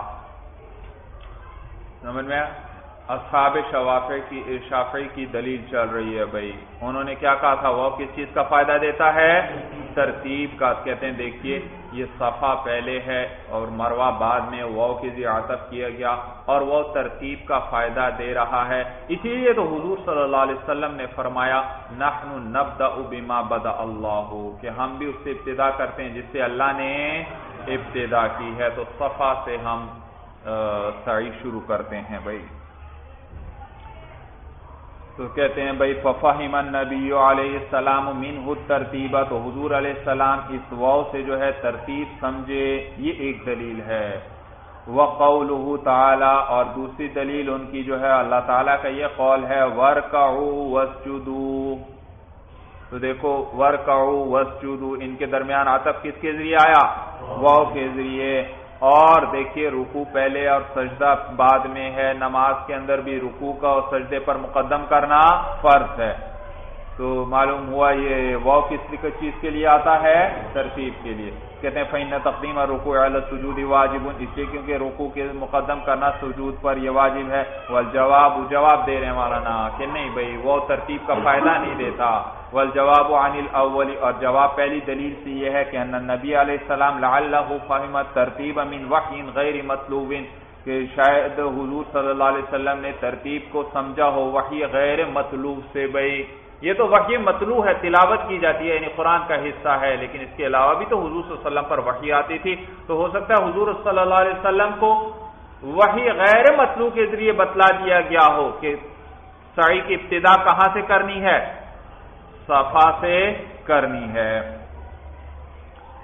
تو شاید غیر وہی، غیر متو سے حضور صلی اللہ علیہ وسلم کو ترتیب سمجھ میں آئی ہو۔ وہ نما حال آیتی اور وہ حضور صلی اللہ علیہ وسلم نے آیت پر جو حوالہ دیا بے اعتباری ان تقدیم فی ذکری کہ تو وہ یہ وہی اعتبار ہے کہ ذکر کے اندر بھی مقدم کرنا، لا یخن علی اہتمامی و ترجیحی یہ بھی اہتمام اور ترجیح سے خالی نہیں، بھائی۔ بھائی دو چیزوں کو ذکر کرنا ہے، دو میں سے ایک کو پہلے ذکر کیا، معلوم ہو اس کی اہمیت کی وجہ سے اور اس کے راجے ہونے کی وجہ سے، تو راجے قرار دینے کی وجہ سے۔ تو اگرچہ یہ بھی اس سے خالی نہیں ہے، لیکن بہرحال وہ ترتیب کا فائدہ نہیں دیتا۔ تو یہاں یہ بھی احتمال ہے، حضور وسلم کو وہی غیر مطلوب سے علم ہوا ہو بھائی۔ وانستانی اور دوسری کا جواب ہم کیا دیتے ہیں؟ دوسرے کیا؟ کہ ورک وس جدو آپ نے آیت ذکر کی، کہتے ہیں کہتے ہیں انہ معارض القول تعالیٰ، یہ آیت تو معارض ہے اللہ تعالیٰ کے اس قول سے وسجدی ورکعی۔ تو دیکھو، اس آیت میں کیا ہے؟ سجدے کا ذکر پہلے اور رکوع کا ذکر بعد میں۔ خطاب لی مریم اس حال میں کہ خطاب ہے۔ مریم کو فین تقدیم سجودی اعلی رکوئی لئی سبھی فرض بل اجماع اس لیے کہ سجدوں کو رکوع پر فرض پر مقدم کرنا بل اجماع فرض نہیں ہے بھائی۔ تو وہ اگر کس چیز کا فائدہ دیتا؟ ترتیب کا۔ پھر تو کیا ہونا چاہیے تھا؟ یہاں تو پتہ لگ رہا ہے کہ سجدے کا پہلے کرو اور رکوع بعد میں بھائی۔ یہاں تک بات سمجھ میں آ گئی؟ وفی قوله لغیر الموتوعتی، ان دخلت الدار فانت طالق و طالق و طالق. جی. اور کسی شخص کا کہنا لغیر الموتوعتی، ایسی عورت سے، ایسی اس کی بیوی، الغیر الموت، جو جس سے اس نے صحبت نہیں کی بھئی، وہ غیر موتوعہ ہے. اس سے یہ کوئی شخص اپنی ایسی بیوی سے کہتا ہے، ان دخلتی دار فانتی طالق و طالق و طالق. اگر تو اس گھر میں داخل ہوئی تو تجھے طلاق ہے اور طلاق ہے اور طلاق ہے۔ جی۔ تو یاد رکھیے، اس صورت میں جب وہ گھر کے اندر داخل ہوگی تو امام اعظم ابو حنیفہ رحم اللہ کے نزدیک اسے ایک طلاق ہوگی اور ایک سے وہ بائنا ہو جائے گی۔ کیونکہ غیر مقبول بہا ہے، غیر موتوا ہے مولانا، اس سے صحبت نہیں کی گئی۔ اور غیر موتوا کو جب طلاق دی جائے تو وہ ایک ہی طلاق سے کیا ہو جاتی ہے؟ بائنا ہو جاتی ہے۔ بھائی دیکھیے، انتی طالقن کہنے سے رجعی طلاق ہوتی ہے، لیکن غیر موتوا سے اگر اس نے کہا انتی طالقن تو ایک ہی طلاق سے وہ کیا ہو جائے گی؟ بائنا ہو جائے گی۔ اور اس پر عزت بھی کوئی نہیں ہے، وہ فوراً ہی کہیں اور نکاح کرنا چاہے تو نکاح کر سکتی ہے۔ تو امام صاحب کی نزدیک اس صورت میں ایک ہی طلاق ہوگی۔ اور صاحبین فرماتے ہیں، گھر میں داخل ہوگی تو تینوں طلاقیں ہو جائیں گی۔ کیا ہو جائیں گی؟ تینوں۔ تو امام صاحب فرماتے ہیں، ایک طلاق ہوگی۔ معلوم ہوا وہ ترتیب کا فائدہ دے رہا ہے۔ کیونکہ کیا تھا؟ اس نے بھی ترتیب سے تالقن و تالقن و تالقن اس نے کہا تھا۔ اگر ترتیب کا فائدہ نہ دیتا وہ مطلق جمع کے لیے ہوتا، تو پھر تو تینوں طلاقیں واقع ہونی چاہیے تھی معلوم ہوا، اے احناف، تمہارے امام امام اعظم و حنیفہ رحم اللہ کے نزدیک وہ کس چیز کا فائدہ دیتا ہے؟ ترتیب کا۔ جی۔ اور دوسرا، آپ نے کیا کہا تھا؟ وہ مقارنت کا بھی فائدہ نہیں دیتا۔ بھائی، وہ مقارنت کا بھی فائدہ دیتا ہے۔ جبھی تو صاحبین فرماتے ہیں، تینوں طلاقیں ہو جائیں گی، اکٹھی ہو جائیں گی۔ جیسے ہی گھر میں داخل ہوگی، تینوں طلاقیں ہو جائیں گی، بھائی۔ اعتراض سمجھ میں آ گئے بھائی؟ تو یہ مقارنت بھی ہاں جب تینوں اکٹھی ہوئی معلوم مقارنت آ گئی ہے، بھائی۔ اکٹھی واقع ہو رہی ہیں۔ تو کہتے ہیں وہ فی قولی ہی اور کسی شخص کے فی قولی ہی غیر الموتوتی اور کسی شخص کا اپنی غیر موتوا بیوی سے یہ کہنا کہ ان دخل تدارہ پانتی طالقن و طالقن و طالقن کہتے ہیں، جواب سوال سوال مقدرین یا ردو علینا، یہ جواب ہے کہ ایسے سوال کا، سوال مقدر کا جو ہم پر وارد ہوتا ہے، وہ ہوا اور وہ یہ کہ انہو اذا قال احد لامراته الغير الموتوه جب کسی شخص نے کہا اپنی غیر موتوه بیوی سے ان دخل تدار فانت طالق و طالق و طالق فعند ابي حنيفه تقع واحده تو امام اعظم ابو حنیفہ رحمہ اللہ کے نزدیک ایک ہی طلاق واقع ہوگی وعندهما ثلاث اور صاحبین کے نزدیک تینوں۔ فعلم، پس جان لیا گیا کہ ان الواو للترتیب عنده، کہ وہ ترتیب کے لیے امام صاحب کے نزدیک فيقع الاول منفردا، پس پہلی طلاق اکیلی واقع ہوگی۔ جی باقی دو طلاقیں کیوں نہیں ہوں گی؟ کیونکہ ایک سے بائنا ہو گئی، جدا ہو گئی، اور عدت بھی کوئی نہیں ہے۔ عدت ہوتی تو عدت کے اندر اور بھی واقع ہو سکتی تھی، لیکن عدت بھی نہیں ہے اس پر، عدت بھی تو لہذا فوراً بائنا اور جدا ہو گئی، بالکل۔ لہذا اب محل ہی نہ رہا طلاق کا، تو باقی دو طلاقیں کیا ہو جائیں گی؟ لو تو یہ مانا فیق اول منفردن پس پہلی طلاق اکیلی واقع ہو جائے گی، ولم یقل محل السانی و اور محل ہی باقی نہیں رہے گا دوسری اور تیسری طلاق کے لیے۔ ولی مقارنت عندہما اور یہ جان لیا گیا کہ وہ جو ہے، اوپر کیا تھا؟ لت ترتیب عندہ امام صاحب کے نزدیک ترتیب کے لیے ہے۔ ولی مقارنت عندہما اور صاحبین کے نزدیک مقارنت کے لیے ہے۔ فیق الکل دفعہ واحد پس ساری کی ساری طلاقیں ایک ہی دفعہ میں واقع ہو جائیں گی کٹھی۔ وال محل یکبلوہا اور محل بھی اس کو قبول کرتا ہے کہ کٹھی تین طلاقیں ہو مائی۔ بھائی بھائی الگ الگ دے، پھر تو ایک طلاق سے بائنا ہو گئے۔ لیکن اگر کوئی شخص ایک ہی لفظ کے ساتھ تینوں طلاقیں دیتا ہے غیر موتوا کو، تو پھر تینوں ہو جائیں گی۔ مثلا اسے کہتا ہے انتی طالقن سلاسن تو کیا ہو جائیں گی؟ تینوں ہی طلاقیں اکٹھی ہو جائیں گی۔ فاجابت جواب دیا مصنف نے بھی انفی حاضل مثالی کہ اس مثال کے اندر ان نماتت لقوا ہے انما تطلق واحدتا، طلاق والی ہو جائے گی ایک طلاق والی یا تطلق واحدتا، یا وہ کیا ہو جائے گی؟ ایک طلاق والی ہو جائے گی عندہ بھی حنیفہ، امام اعظم حنیفہ رحم اللہ کے نزدیک لی ان موجب هذا الكلام الافتراق، اس لیے کیونکہ اس کلام کا مقتضا کیا ہے؟ افتراق۔ اس کلام کا مقتضا ہی افتراق ہے، اس لیے وہ فائدہ نہیں دے رہا ترتیب کا، بلکہ کلام کا مقتضا کیا ہے؟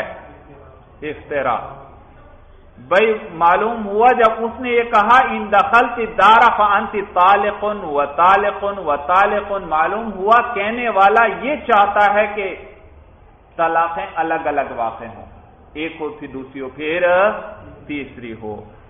اگر اکٹھی کا ارادہ ہوتا، پھر تو وہ یوں تالقن و تالقن و تالقن اتنا لمبا کلام نہ کرتا، وہ تو فوراً کیا کہ فانتی تالقن سلاسن اگر تو گھر میں داخل ہوئی تو تجھے تین طلاقیں۔ لیکن وہ تالقن سلاسن نہیں کہہ رہا، بلکہ کیا کہہ رہا ہے؟ تالقن و تالقن و تالقن معلوم ہو وہ کیا چاہتا ہے؟ افطراک کے طلاق، ایک ایک کر کے واقع ہو جائے۔ تینوں طلاقیں یعنی الگ الگ واقع ہو جائیں۔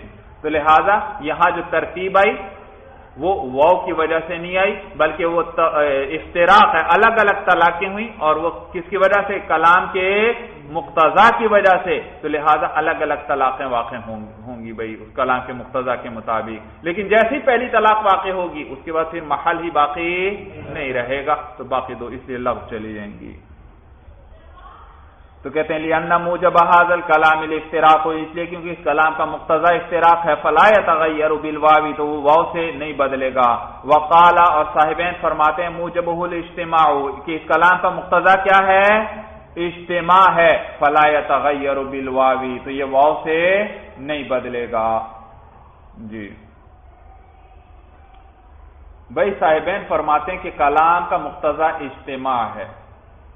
ایک ہی شرط کے ساتھ وہ کیا کر رہا ہے؟ تینوں طلاقوں کو معلق کر رہا ہے کہ معلوم ہوا وہ چاہتا ہے کہ اس شرط کے پائے جاتے ہی کیا ہو جائیں؟ تینوں طلاقیں واقع ہو جائیں۔ اگر ایسا نہ ہوتا تو وہ الگ الگ شرطوں کے ساتھ طلاقوں کو معلق کرتا ہے، لیکن اس نے ایک ہی شرط کے ساتھ کیا کر دیا؟ تینوں طلاقوں کو معلق کر دیا۔ معلوم ہوا وہ کیا چاہتا ہے؟ کہ تینوں کیا ہو جائیں؟ اس شرط کے پائے جاتے ہی تینوں طلاقیں واقع ہو جائیں بھائی۔ تو کہتے ہیں صاحبین، یہ مانا صاحبین فرماتے ہیں، موجب اجتماع کے کلام کا مختصہ اجتماع ہے فلاحت بالواوی تو وہ واؤ سے نہیں بدلے گا۔ تو یہ کلام کا مقتضا کی وجہ سے امام صاحب کے نزدیک افتراق آیا اور صاحبین کے نزدیک اجتماع آیا واؤ کی وجہ سے نہیں بھائی۔ یعنی انہاد ترتیب آئندہ ہو یہ کیونکہ یہ ترتیب امام صاحب کے نزدیک والمقارنت عندہما اور یہ جو مقارنت ہے صاحبین کے نزدیک، لم یجی من الواوی، یہ واو سے نہیں آئی، بل موجب الکلامی بلکہ کس سے آئی؟ ہے کلام کے مقتضا سے آئی ہے، فإن موجب الکلام عندہ الافتراق، اس لیے کیونکہ کلام کا مقتضا امام صاحب کے نزدیک افتراق ہے اس لو لم یکن کذالک، اس لیے کیونکہ اگر ایسا نہ ہوتا، لقال تو وہ شخص یوں کہتا، ان دخلت الدار فانت طالق ثلاثا، بھائی۔ پھر وہ یوں کہتا، بھائی۔ فیضا لم یقل سلاسن جب اس نے سلاسن نہیں کہا بلقال انت طالقن و طالقن و طالقن بلکہ اس نے الگ الگ کرتے ہوئے یوں کہا انت طالقن و طالقن و طالقن علما تو جان لیا گیا انہو قصد الافتراق، کہ اس نے کس چیز کا ارادہ کیا ہے؟ افتراق، الگ الگ جدا ہونے کا ارادہ کیا ہے۔ فیقع کل منها علاہدت تو واقع ہوگی ان میں سے ہر ایک طلاق علیحدہ۔ فیقا الاول، پس پہلی طلاق واقع ہوگی۔ ولم يبقى محل للثاني وللثالث، اور اس کے بعد محل ہی ثانی اور ثالث کے لیے باقی نہیں رہے گا۔ وعندهما موجب الكلام الاجتماع، اور صاحبین کے نزدیک کلام کا مقتضا جو ہے وہ اجتماع ہے۔ لانه لو لم يكن كذلك، اس لیے کیونکہ اگر ایسا نہ ہوتا، لما علق الثلاثه كله بشرط واحد۔ تو پھر وہ تینوں ساری تینوں کو ایک ہی شرط کے ساتھ معلق نہ کرتا۔ فیضا اللہ جملتن بس جب اس نے معلق کر دیا اکٹھا ہی سب کو، وقع جملتا واحد تو وہ ساری بھی کیا ہوں گی؟ اکٹھی ہی واقع ہوں گی۔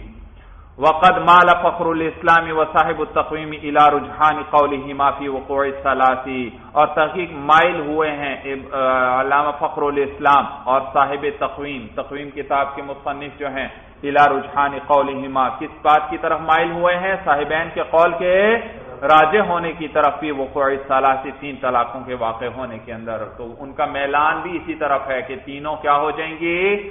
واقع ہو جائیں گی۔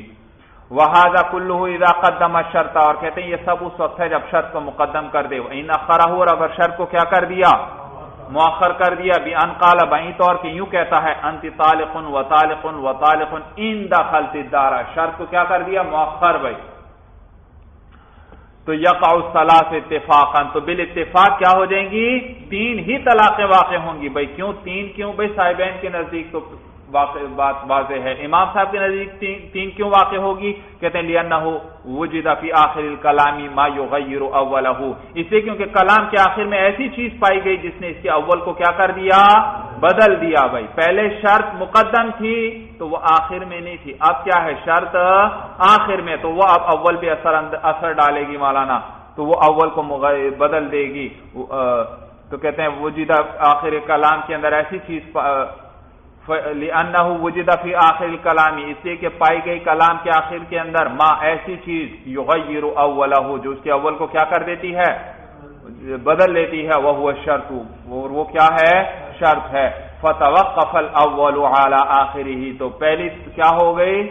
موقوف ہو گئی کس پر؟ آخری پر۔ سورج سمجھ میں آ گئی بھائی؟ پہلی آخری پر موقف ہو گئی فیقان جملہ تن تو کیا ہوں گی وہ؟ جملہ تن اکٹھی ہی واقع ہو جائیں گی بھائی۔ وَإِذَا قَالَ لِغَيْرِ الْمَوْتُوَةِ أَنْتِ طَالِقٌ وَطَالِقٌ وَطَالِقٌ إِنَّمَا تَبِينُ بِوَاحِدَةٍ بھائی اور بھائی، جب کہا کسی شخص نے اپنی ایسی بیوی سے جو غیر موتوا ہے، کیا کہا؟ انت طالق و طالق و طالق کہا۔ کہتے ہیں انما تبین بواحد وہ بائنا ہو جائے گی ایک ہی طلاق کے ساتھ۔ کہتے ہیں، جواب سوال ان آخرا یہ دوسرے سوال کا جواب ہے، ایک دوسرا سوال اعلی علماء جو ہمارے علماء پر ہوتا ہے، اس کا جواب ہے وہ ہوا اور وہ سوال یہ کہ یوں کہ یوں کہا جائے ایزا نجز طلاق جب نجزا کا معنی پورا کرنا۔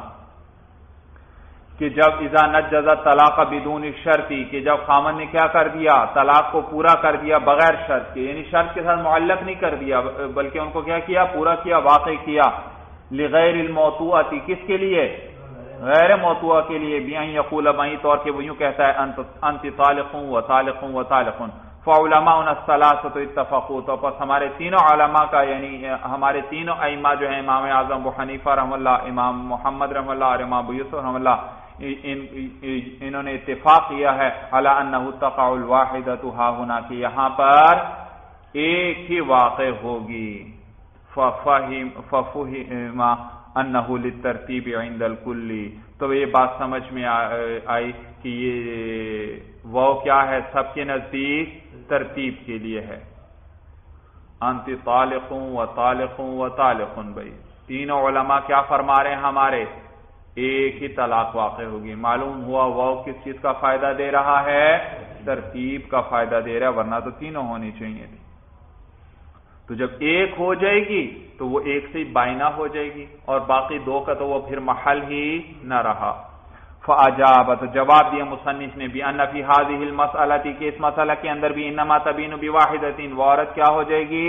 بائنا ہو جائے گی ایک طلاق کے ساتھ، لأن الاول وقع قبل تکلم بالثانی والثالثی بھائی یہاں پر یہ جو ترتیب آئی، یہ ایک سے جو بائنا ہوئی، یہ واؤ کی وجہ سے نہیں آئی، بلکہ تکلم لسانی کی وجہ سے آئی ہے۔